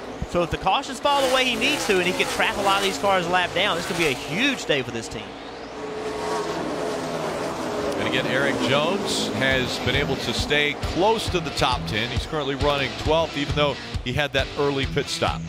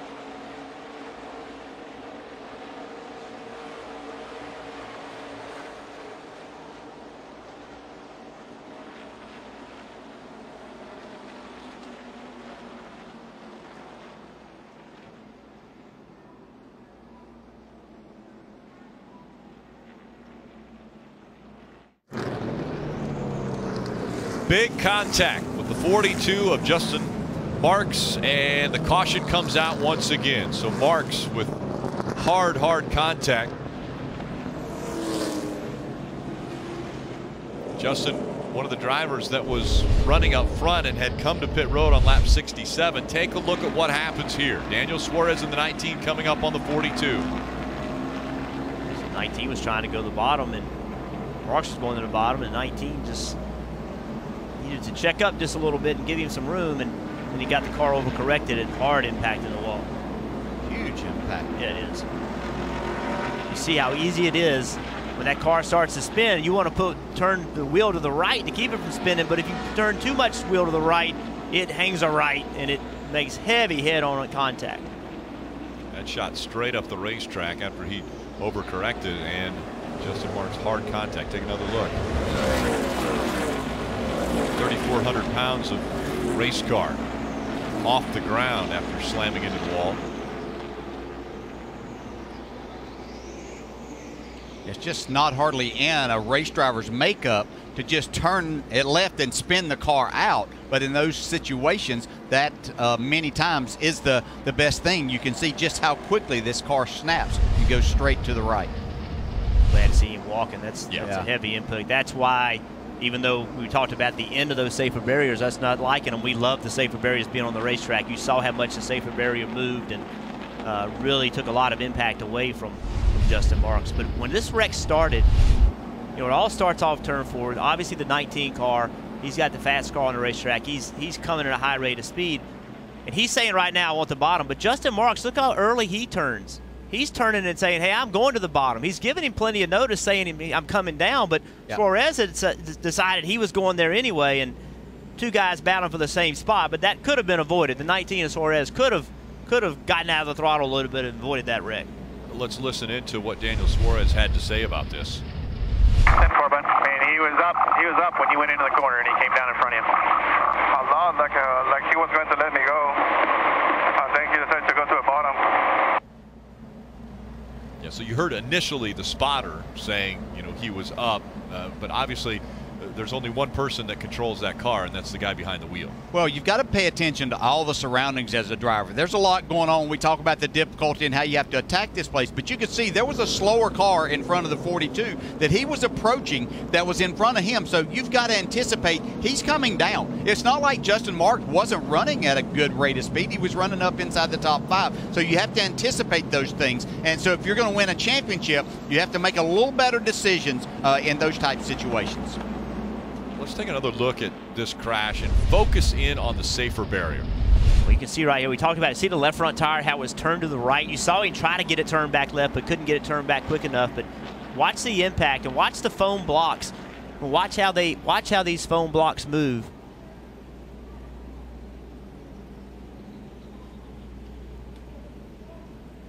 Those things, they just crush, and then you see the, the, the wall come back out. But that the foam blocks crushing, that takes the G-forces away from the driver. A huge advancement in motorsports. I mean, unbelievable how different it feels when you hit one of these walls versus a concrete wall. Yeah, just incredible what, what it's been able to do, and, and it's allowed uh, someone like Justin Marks right there to, to walk away from that because even though it still stuns you, it's nothing like hitting that concrete barrier. So that caution came out, and it's going to create a little bit of madness here. The 11 car, great strategy. He stayed out, did what he needed to do, but there's only nine cars on the lead lap. So Alex Bowman is the first car lap down. Erik Jones, Drew Herring, Elliott Sadler, they're all lap down. You see the 11 car, well, pit road's not open right now, but he will eventually pit. When he pits, Blaney, Ty Dillon, Reed, Allgaier, Yeley, Chastain, they're all on the road. I don't think pit lap. road is open, and I think he had to come to pit lane. I think he may have run out of gas. Kelly. And that's exactly what has happened for Blake Koch. They're trying to get any uh, last blips of fuel into it. They had to bring him down to pit road. So you see that they're going to service the car as it is. He said he felt really good in the 11, running up high in the gray stuff, although the car had gotten a little bit free. See, it's a four tire change, and they're going to fill him up with fuel here as he was running on fumes.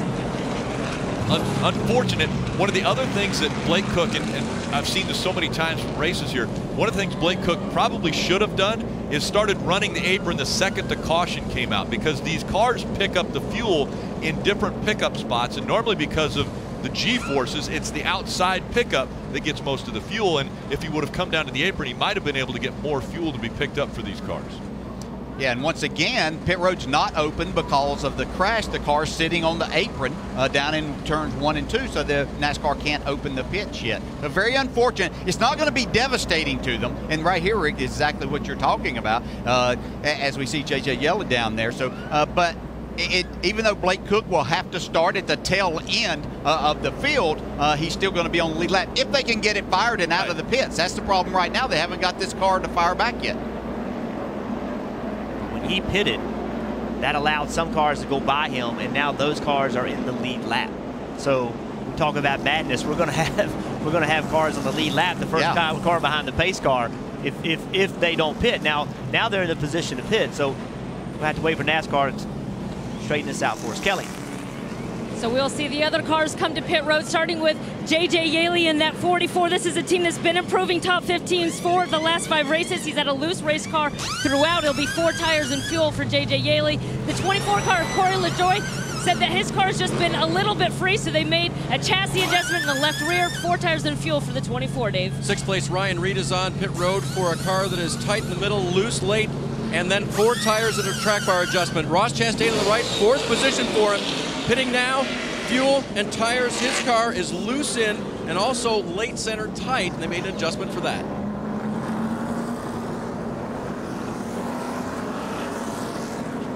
And so as the pit cycles through, we go NASCAR nonstop.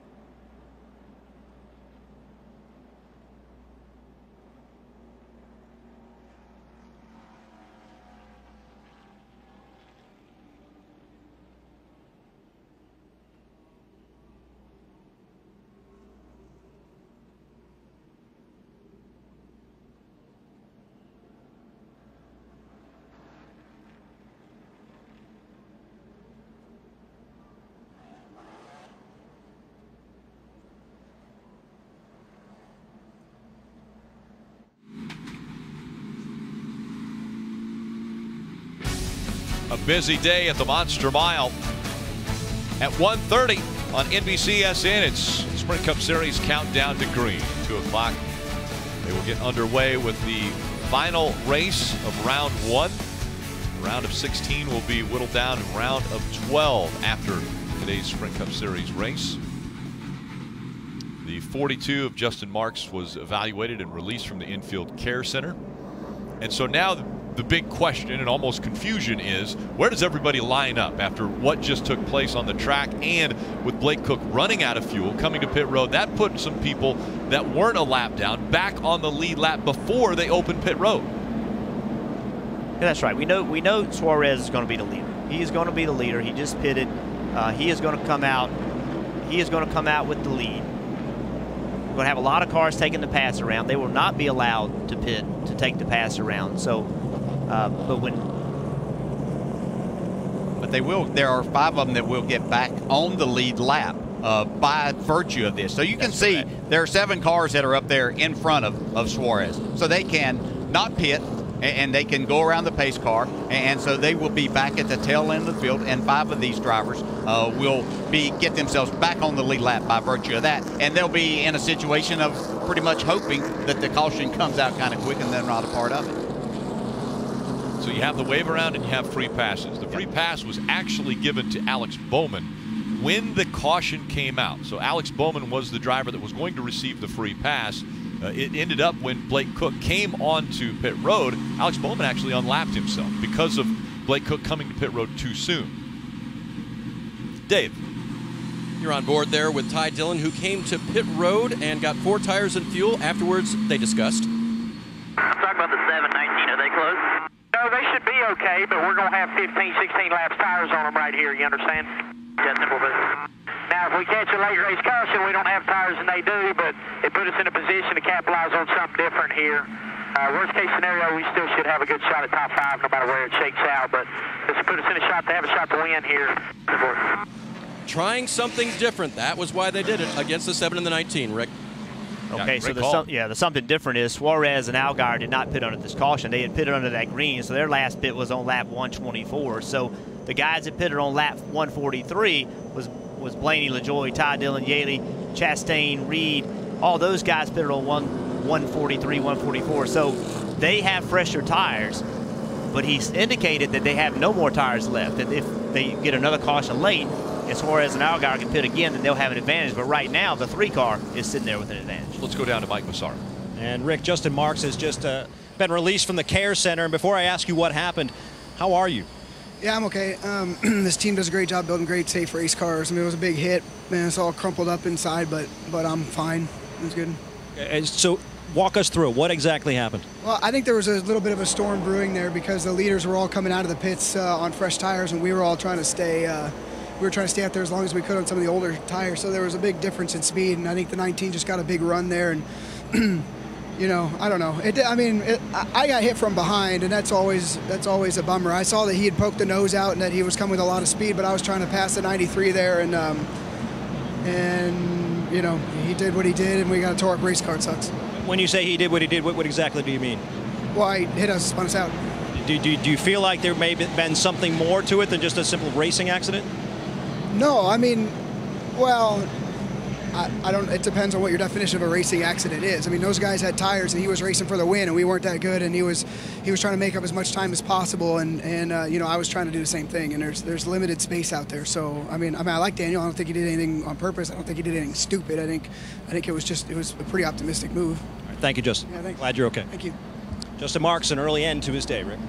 Yeah, racing accident, yes. Avoidable, absolutely. And, and, again, I'll go back. That's the kind of things that you, and situations you can't put yourself in when you're racing for a championship. There, you have to be aware of all the surroundings. Yeah, Daniel didn't go in there and just wreck him on purpose. No. He just, you know, he didn't go in there and say, "I'm gonna hit him." He just went in there thinking he had the spot and that you know the 42 wasn't going to come down and that Justin was going to stay up the racetrack, and Justin thought he was down there. So right. I thought the 19 could have avoided that wreck uh, by just you know not attacking quite so much, but obviously, Daniel Suarez is not a dirty race car driver by any means. We don't see him wrecking people. It's just yeah. racing. Stuff happens sometimes in racing. Two people battling for the same spot. A matter of inches, really. I mean, that yes. was a situation where it was a few inches that the 19 got into the, the left rear of the 42 and around the 42 win and into the walls. We take a look at the chase grid. Uh, Elliott Sadler with the win at the top, obviously advancing to the round of eight. Daniel Suarez, race leader, will be up there as well. Guys that are that were hurt with this most recent caution have to be Ryan Sieg and Blake Koch. Blake Koch, because they couldn't refire the car on pit road, lost another lap, so he is now a lap down. And Ryan Sieg, because of speeding, is now two laps down as we get ready for the restart. Yeah, we talked about that uh, having to get to pit road wasn't going to be devastating to Blake Koch, except the fact they couldn't get the car to refire, and he sat there before they could get it going and, and lost a lap. So very unfortunate. Went from leading, great strategy, to now uh, behind the eight ball once again. Yeah, one car we see sitting here on the outside of row two Corey LaJoie. That pit strategy really helped this guy. Young driver, very good race car driver, not driving the same equipment as everybody around him. Uh, a little bit of an underfunded team, not the staffing, the personnel, but a good day for Corey LaJoie. Let's see if he can take advantage of this pit strategy and come out here with a good finish. Daniel Suarez has chosen the outside line, and Justin Allgaier will restart on the inside. They will have 50 to go as we take a look at the the way the rubber has built up on this racetrack. Yeah, you can see right now, you know, the track's completely white, Dale, almost no rubber on it. But then as they run a couple laps, matter of fact, two. Look at how much rubber goes down on that track. Changes quite a bit, and that's just after yeah. caution. And not only does it change in appearance, it changes as a driver with what you're feeling in the race car. So that's how quickly things can change. You have to adapt to all of that throughout these different cautions and uh, situations throughout the afternoon. I always wondered if every racetrack was like that, where you picked up the rubber under caution, or if it was just you saw it at this racetrack because it's white and the other yeah. racetracks is asphalt. But here it's so obvious that under caution, well, contact under under wow. caution. That was interesting. That was heavy Drew contact. Herring. Drew Herring come up the racetrack. It looks like trying to clean the tires off and made some contact there. Was it was with the six car, wasn't it? Yeah, look at the damage on the left front of the six. Let's take another look. Again, comes way up, and that's hard contact.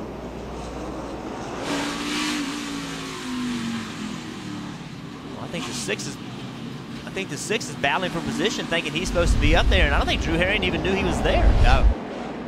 You wouldn't expect anybody to no, be up there. Wouldn't. And so two by two once again, they come into the restart zone on the outside. Daniel Suarez, Justin Allgaier on the inside. Green flag back in the air. 49 laps to go. Allgaier with a great restart on the inside. He'll steal the lead away from Suarez.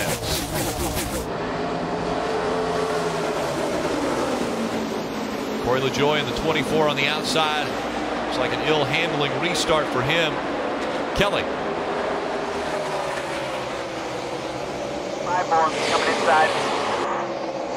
So we saw Bubba Wallace in contact with the 18. I just heard Bubba reporting to his team that he thinks that 18 has a right rear flat, so they're telling him to keep an eye on it. Certainly looks like he has a right rear flat. He's going to have to pit, so just one small thing can ruin your day. Listen, we got Justin Allgaier leading this race right now. Remember, he finished fourth here in May. And we've seen these junior motorsports cars, they have found some speed in the summer months. So not a huge surprise that Justin Allgaier is running in front of this race right now. No, no, they're doing a great job. Suarez fast. But how about the guys in third and fourth there with Ryan Blaney and Ty Dillon? Both had to start in the rear. Maybe a little contact there. Suarez very aggressive here for the lead. Well, Allgaier didn't give him any space down the front straightaway after that contact. And I'm not sure there was contact. He may have just got right up to the back and stole a little air off of the back of that car. But Justin Allgaier definitely got loose, and around goes the 19, so Suarez up front. You saw the 19. You saw Suarez put his hand out the window. The guy that ends up with the lead always puts his hand out the window. yeah, yeah, appreciate that. Sorry if there was a... by five, bud. 45 more laps. 45 more laps. Suarez back out front. Suarez has already led 78 laps today. Yeah, you can see as he drive into turn three, 19 as Suarez pulls right up to the seven. Yeah, there's no contact. It's just the seven was loose. 19 took advantage of it.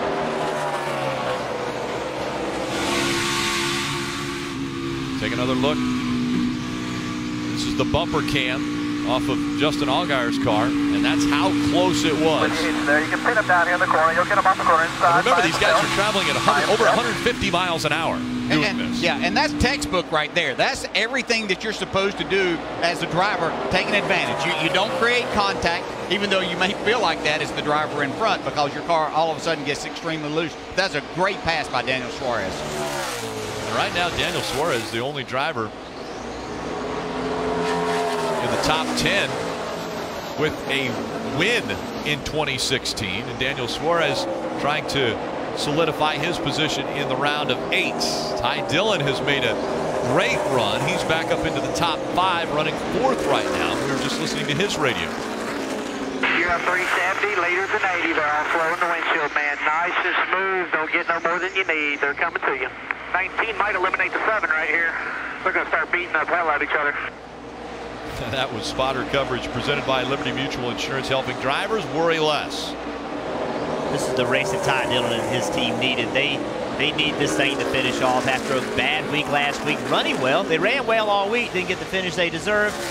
But you know, if they can come out of here after starting in the back and finishing with a top four or five finish, a huge advancement in the points. It lets them leave here in not such a big hole going to next week's race that they don't feel like they have to win the race. So this team right now, they want to win in the worst way, but they also cannot afford to have a poor finish. Coming in, they were 15 points back. They were at the bottom of the list, and now they have battled back to where just six points behind the 48 of Brennan Poole. And we know they came in and they got their set of tires, so they don't they want this to run to the end. Now, on the other side of that, the driver that he was involved with in an incident at Kentucky that's trying to make his way, Erik Jones, moved up into ninth, but he landed pitted on lap 99. He's going to need a caution to happen here if he's going to salvage a decent day. So big move for Ty Dillon up into the top five as we go NASCAR nonstop.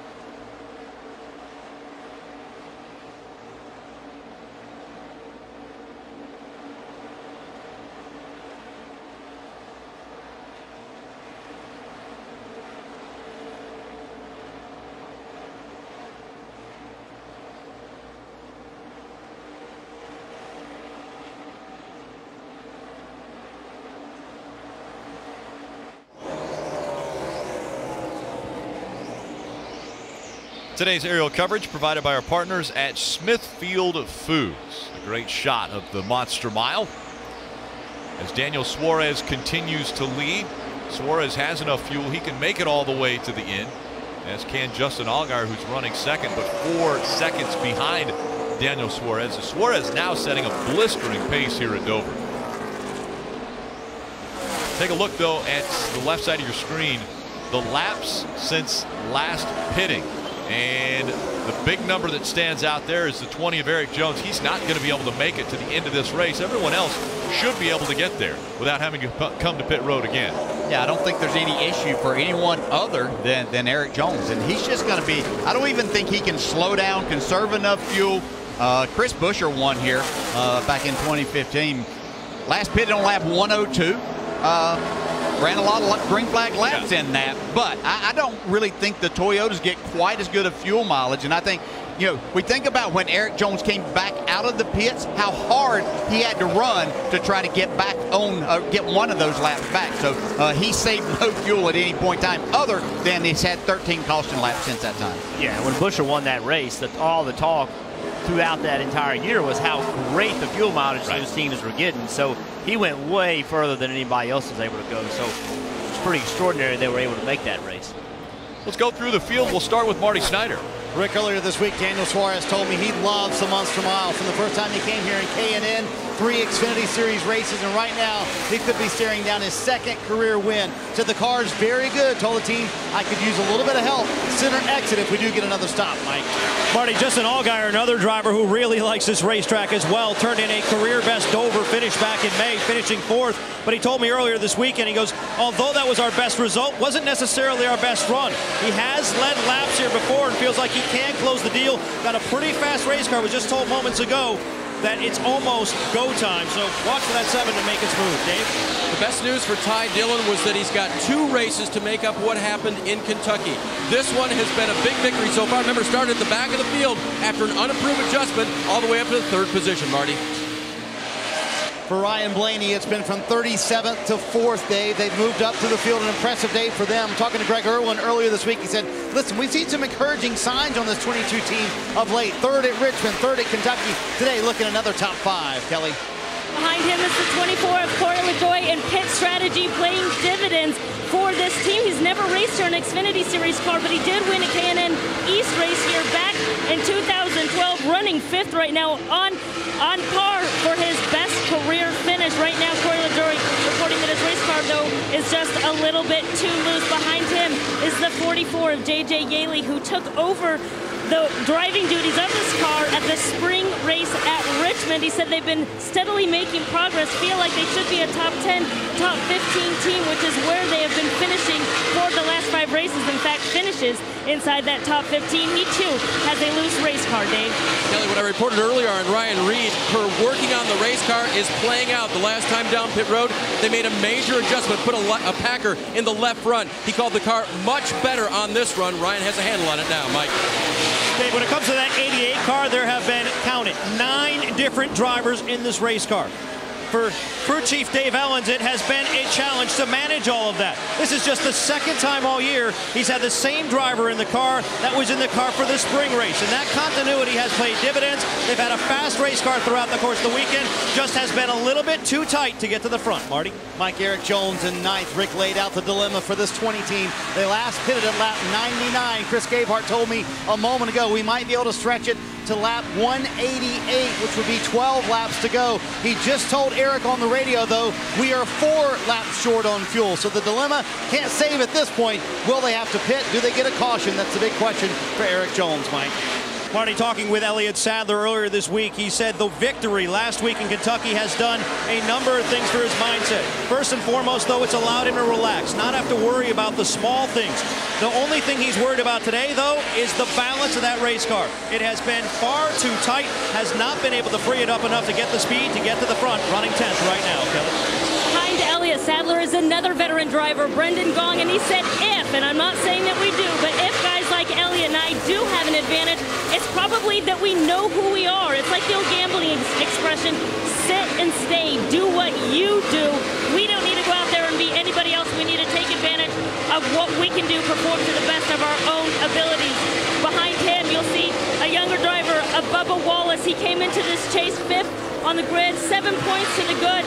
His chase mentality, don't make any mistakes. They feel like they don't quite have as much speed as some of the other teams, want to come away with a clean race and get as many points as they can, Rick. Yeah, there's Bubba Wallace uh, running in the top 12. And then after Bubba Wallace, everyone else a lap down. Blake Koch, we saw him, thought he had a huge advantage. Unfortunately, when they ran out of fuel, they could not get the car refired after getting it full filled and he lost a lap on pit road. So it looked like it was going to be a huge advantage by being the you know only one of the few cars to lead lap. Lost that lap, and now he's all the way back in 16th place. So unfortunate set of circumstances. Looked like going to be a great day. Turned out not working out. Marty, how's it going for the 20? Just such a tough decision and position for everyone in the 20 team to be in. Chris Gabehart just told Erik Jones a moment ago, we're going to come with about six to go. So they've got a window here of about 11 laps where they could get a caution, help them out, or they're going to have to come under green flag conditions. Who would have thought this? The lead championship contender coming into this round, a wreck at Kentucky, potentially having to pit late under green here at Dover. Could be a different picture of these guys going to Charlotte right now. So they're hoping for a caution here in a moment. And Jeff, that's a dilemma. You, you don't want to run out of fuel either, so you've got to pit in a safe window, even though you've got to do it under green. Yeah, if you run out really, of fuel. Really take care of it here. All we're looking for is a caution. That's all we're looking for. There you go. That is what they're looking for. If you do run out of fuel, it's much worse than if you have to pit and put fuel in it. But it, go back and think about what got him in this spot. He pitted under green, thought he had an issue, got the tires off, and there was no issue. And that's a very difficult driver spot for the driver. I talk about it all the time when these things happen. You want them to find something. You know there's something going on. You can't ignore it because if you do, then you blow a tire and have a problem. Especially, don't think for a minute that those tires having tire, those cars having tire problems early in the race didn't impact that decision for him. But it's just so heartbreaking when you make that decision and it's nothing wrong. You know, he's in such a difficult position. I've been watching lap times, and, and as a driver, you, this is a place that you can save some fuel. There's, you know, because this is a momentum track, you can back out and just let your car coast, no brakes whatsoever. But I haven't seen his lap time show me that he's really trying to save a lot of fuel right at this time. One of the things that is going to end up happening is he's going to lose probably nine to 10 spots when he comes to pit road because he'll lose two laps. And right now he's running in the eighth position. The first car that's two laps down is Brandon Jones running 17th. So probably nine spots is going to be lost by Erik Jones if he has to come to pit road under green flag conditions to fill it up with fuel. But he just needs a splash of fuel. So he's going to be on pit road the shortest amount of time. But the other thing is he can't make a mistake on pit road and try to speed and get caught again, and that would just compound the problem. And that's going to be hard because you're frustrated with the situation, trying to get onto pit road, and you're so slow. It's 35 miles per hour down through here, and you just feel like you're creeping along, knowing that every second that you're taking there is costing you spots. What a run for Justin Allgaier and Ty Dillon. Suarez leading has a seven and a half second lead as we have just 11 laps to go. Justin Allgaier seven and a half seconds back. Ty Dillon uh, just behind him. Again, Ty Dillon starting in the back of the field because unapproved adjustments has made it up uh, uh, really almost a win for Ty Dillon after what he was facing coming into this race. He was he was 12th in the point standings coming into this race and has now battled back up to where just five points below the cut line. Okay, someone else's mistake last week put you in this position as Ty Dillon. Don't put yourself in that position right here. The 19 car has you covered. That's one point. Yes, one point could make a big difference at the end of, of 300 miles next Friday night in Charlotte. But don't put yourself in a position to cost a lot. I know he wants to go finish second, but it's been an outstanding day already. Don't take a second or a third and turn it into a 25th. You cannot afford that. The other thing that the 20 needs to worry about right now is not running out of fuel. That would be another thing that would just compound the mistakes that have been made. This time. There you're hearing. time of no caution. He's going to come to pit road this time as they're under 10 laps to go. Just eight laps remaining for Daniel Suarez, who's out front, and we're hearing Erik Jones will have to come to pit road on this lap. Marty, he's coming toward you. 35. And Rick, a moment ago, he said it stalled going into three, so the team kind of scrambled into shape to get him to come to pit road a little bit earlier than they thought. Remember, they were going to come with about six laps to go. Here they've stretched it to about eight laps to go. Erik Jones coming down pit road. This is going to change the championship picture going to Charlotte next week, which is a cut race for the Xfinity Series. Erik Jones might need to be in a position where he has to win because he's going to be below the cut line here. All they need is two seconds of fuel. He's going to come into the pit stall. They're going to plug it in real quickly. Counting it off is Chris Gabehart right now. 2 1,000. There he goes, but they're going to lose a ton of track position here at Dover this afternoon. Are going to lose a ton of track position, and that's been this team's weakness. It's not speed, it's not the ability to win races. You saw the leader, uh, Suarez, go by him. It's the fact of having poor finishes. They have had nine finishes outside the top 20 this year, and we've had he's had getting ready to have two in a row bad finishes in a best in a two race segment. I'm sorry, a three race segment. It's hard to overcome that. Yeah, and one thing that I saw there, he's been out there on this set of tires for a long, long time. 100 laps he's been out there. He locked the tires up, the front tires up, coming to pit road. Hopefully that won't affect him here in these last five laps. Five laps to go. Daniel Suarez out front. Suarez, the 24-year-old out of Monterrey, Mexico. Started his NASCAR career in the Mexico Series where he had 10 wins and was the runner-up in the final standings in 2013 before transitioning over to the States and running for Joe Gibbs Racing. And now Daniel Suarez looking for his second career win, the first one coming at Michigan earlier this year. With a win, it would advance him into the round of eight and have another shot, another attempt at a title.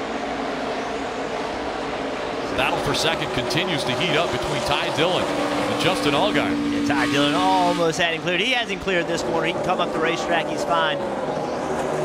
DJ and I both went since he started coming yeah. up turn two, trying to get himself clear. Yeah, you're just inches there, but you know that taking that chance with that driver coming, you're not sure of that speed. But that was a great pass for second by Ty Dillon. What a run for him today. This time by two laps to go for Daniel Suarez. Again, a very comfortable lead, six and a half seconds over Ty Dillon, who has taken over the second spot from Justin Allgaier. Ryan Blaney with an impressive showing today in the top five. Alex Bowman, Corey LaJoie, very good run for the 24 team. J.J. Yeley, Elliott Sadler running eighth, Brendan Gaughan ninth, and Ryan Reed the top 10. This time by the white flag in the air. One more time around for Daniel Suarez. Easy. Nice and easy. Suarez has put on a clinic today. After leading 122 laps, getting ready to lead the 123rd and the final lap at Dover. Final time through three and four. Daniel Suarez looking for his second career win in the Xfinity Series. Checkered flag, he wins at the Monster Mile. Thank you, guys. Woo! A team. A team. Woo! Thank you, guys. Thank you. Good job, guys. I'm very proud of you. Oh, man, what a car. Woo! Daniel Suarez Welcome to the second round of the chase, my friend. has just locked himself into the round of eight, as you just heard on the radio. This young driver, just 24 years old from Mexico, said he continued to watch racing over and over and over, not only to learn about racing, but to learn English so that he would be able to communicate with his team. And there's the coach. Joe Gibbs will be celebrating in victory lane. Again on a doubleheader day where he's hoping that he could see another one of his cars get to victory lane later this afternoon. Yeah, I've just loved watching Daniel Suarez come up, learn. Uh, you talk about learning English. From that to learning these tracks, the cars, uh, everything that it takes to be a, a winning driver, the patience that he's shown, uh, but his enthusiasm is just unbelievable. And it's just fun to watch this young man compete and perform. I, I think the word is learn. I mean, you, you're, you're right. He is. You, you saw him make mistakes, you know, early in his career, he'd make mistakes, and he would learn from it. He wouldn't make that mistake again, but he always pushed his cars hard. He pushed himself hard. Come on, you got more than that Good here. to see a young guy with that much effort have success. and it's a little bit difficult to do a burnout on a racetrack where there's nine degrees of banking on the front stretch. And he's learning that as well and doing a very fine job.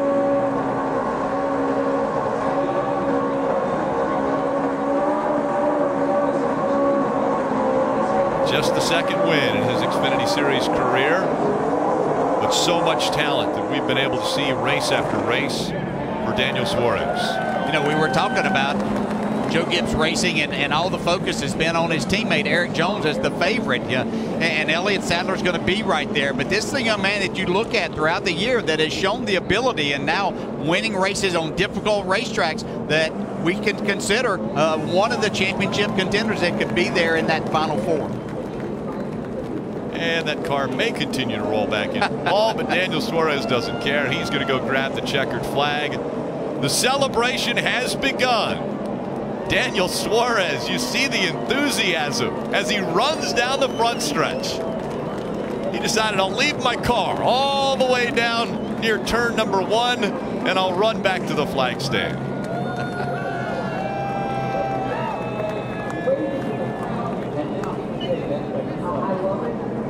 What a day it has been. Once again, this race was supposed to, as he hits it out of the park, this race supposed to be run yesterday afternoon, but because of the rain, rescheduled for this morning. Three Cup Series drivers that are a part of the chase in the Cup Series were supposed to be running this race. They made the decision not to run it. That opened up the door for Daniel Suarez to dominate here at Dover, leading 123 laps, and most importantly, the last one. He will be celebrating win number two of his career in Victory Lane when we come back to Miles the Monster.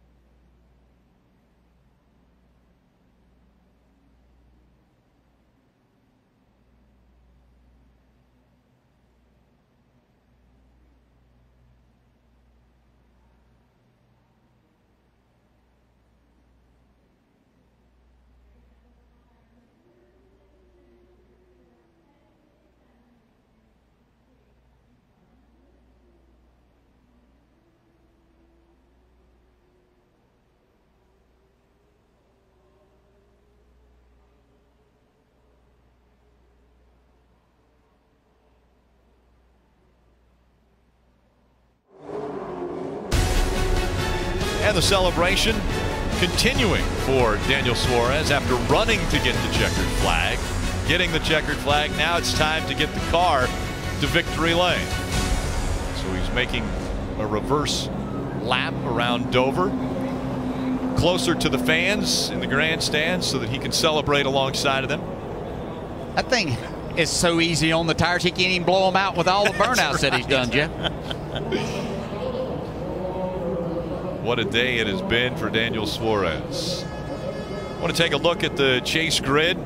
Now, Daniel Suarez and Elliott Sadler, both with wins, have solidified a spot in the round of eight. Justin Allgaier with a 17 point lead going into Charlotte. The, the elimination race for the first round, the round of 12. Brendan Gaughan, 14 points above the cutoff line. Look at Ty Dillon, he came into this race 15 points behind the cutoff line, now just three points. Definitely not a must win situation. Definitely put himself in a better position to advance into the round of eight, but he's going to have to race everyone very hard to be able to be a part of the round of eight. Yeah, for those who say that after you win a race in this chase format, there's no need to race, well, guess what? What if Erik Jones hadn't won the races he won? And he yeah. had the, has 12 bonus right. points. Take away those bonus points from Erik Jones and he won by winning races, where would he be now? He would be in a must-win situation. And the other thing that comes into play, Erik Jones could end up being in a must-win situation. It's going to be more difficult because when he goes to Charlotte, we're going to see more Cup drivers. Yeah. That will be in the Xfinity Series race at Charlotte because it'll be a companion race once again. And you see Erik Jones talking to Coach Joe Gibbs, and uh, it was just a tough day for him. And he's in a position now. The last time he was at Charlotte, finished 31st in May. Uh, there was some contact with Wall early and lost a tire late. So Erik Jones, no guarantees going into Charlotte that he's going to have a great run. But let's celebrate in victory lane. We go to Martin. What a performance and what a show put on by Daniel Suarez today. He wins here at the Monster Mile at Dover.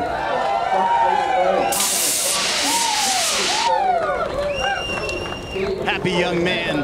Get him to hop off the race car. You ever dominated a race like that before? Man, I don't remember the last time, honestly. Uh, I'm very proud of entire this team. the 19 Interstate batteries, Toyota Camry did a really good job today. Uh, and the guy just brought an amazing car. Uh, we have a ton of speed. You know, one of those races that you will feel bad if you if you lose the race. You know what I mean? Um, Harris, Juniper, the Wall, Toyota, Coca-Cola, everyone to put this program together. Uh, pretty unbelievable to win this way. Tell me about the pass on the seven. D- Dale Jarrett called it textbook. Never touched him. Got enough air on him to move him out of the way, though. Tell me about that pass. Yeah, it was. Uh, you know, he he was racing aggressive because clean air was everything. He got me right there on the restart. And, and I was a little faster than him, and, uh, and, I knew if I was close to his rear bumper, I was going to make him lose. I don't think I never touched him, but I, that was enough to make me lose, to make him lose and be able to complete the pass. Uh, but like I said, very proud of everyone. I want to apologize as well to uh, to the 42. Obviously, that wasn't my intention to, to wreck him that way. I thought I had the inside line and hit, and then he went to the bottom. Uh, apologize for that. Uh, Norm Miller uh, for from his Interstate to put this program together as well. Just very proud of this team. Everyone did a really good job. Right, well, you got to do your burnouts closer to the flag stand. You had to run down the front stretch. I wanted to do it in front of my team because they deserve, ah. they, they, they got this one. This car was unbelievable. And yeah, I had to run a little bit, but that's fine. When you win, you can run a little bit. You want, you want to send a message to the folks at home in Spanish? Yeah, sure. Muchas gracias a todos por su gran apoyo. La segunda, vamos por el chase.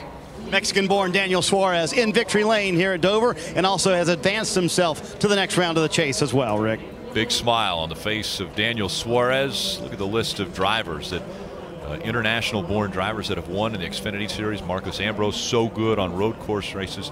Uh, he was able to win five times, but Daniel Suarez now two wins already in the Xfinity Series, and he's got quite a few still to go this year that he could add to that total because he's looking very impressive. And just as he mentioned, the team really clicking right now gave him a great car. Yeah, really, really fast. I was going to talk more about him, but Jeff's going to translate what he said in Spanish there to for everybody, right? I, oh, appreciate, no. I appreciate you thinking of me, Dale. no, he, he, it was just, you know, he did everything right. Yeah, he got himself in one spot. He apologized for that, and we all make mistakes, and, and we're better for it. He yep. understands that situation now. But uh, this is a driver we're going to be watching win races uh, for a, a, long time to come. Not only in this series, but the Cup Series uh, eventually. A tough luck day for Erik Jones in the 20 just moments ago. Kelly Stavast caught up with him. An understandably frustrating day for Erik Jones. Erik, you had the vibration, and then you guys just didn't get the caution that you needed to recover. So, how do you compartmentalize this and move forward to the next race? Well, we weren't very good before that either. So, you know, just kind of an embarrassing day overall. We want to run a lot better than that, and it's pretty, pretty embarrassing not even being in the chase right now for the next round too. So, got a lot of work to do. Got to have a good run, run at Charlotte for sure. You know, it's. Uh, it's just unfortunate. It's just something that I would have never saw coming, um, and just pretty pretty disappointed. But with this chase format, obviously there's always that opportunity, a win, a strong performance, and some bad luck. How do you move forward? Yeah, I mean we got a good team. You know, we just have to have to do it right, and we just didn't do it this weekend, and it's unfortunate. You know, we didn't have the car, and, and things just didn't work out. So hopefully we have a better car next week at Charlotte, and we'll be able to uh, to go out and hopefully get into the next round and be a lot of work, a lot of pressure, but you know I think we can do it. Thank you, Erik. Thanks.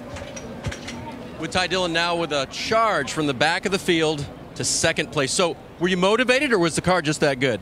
The car was really good. Um, obviously, we were motivated. Uh, a little disappointed with the way that everything started there, but uh, good good run for our red cap uh, Sullivan uniform Chevy. It was a fun race, you know. We, uh, we we started off really good, and I slapped the wall there, the new addition to the racetrack, and um, thought it was going to mess some stuff up, but we were actually still pretty good. So um, don't know if we had anything for the 19. Would have liked to have uh, you know gotten through traffic a little bit quicker to have a shot at him. But all in all, it was a great day. What we needed. Uh, it takes a little bit of the pressure off going into Charlotte. We still got to execute there and do what we did today, and we'll be fine.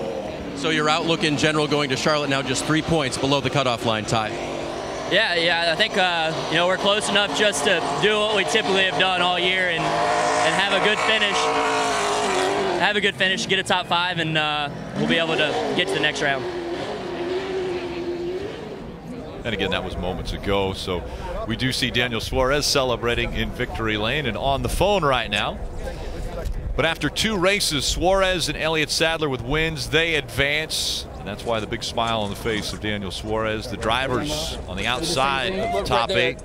Ty Dillon, Erik Jones, Ryan Sieg, Brandon Jones, all trying to figure out what they'll have to do at Charlotte to be able to advance into the round of eight. Now, coming up later today on NBCSN, the Chase elimination race for the Sprint Cup Series. Who will advance to the round of 12? Coverage begins at 1:30 p.m. Eastern with countdown to green. And coming up next on CNBC will be regularly scheduled programming. But again, uh, big day on NBCSN from right here at Dover, and then uh, kicking it all off. Or at the end of the day at 7 o'clock, Racing Roots with Kevin Harvick. A great show as to how he grew up in Bakersfield, California. What an eventful day it has been already. And again, this is just the first of the doubleheader.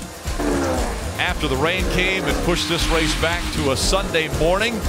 Little bumping and banging, some hard hits, but in the end, a dominating performance by Daniel Suarez. 127 laps led, and he gets his second career Xfinity Series win.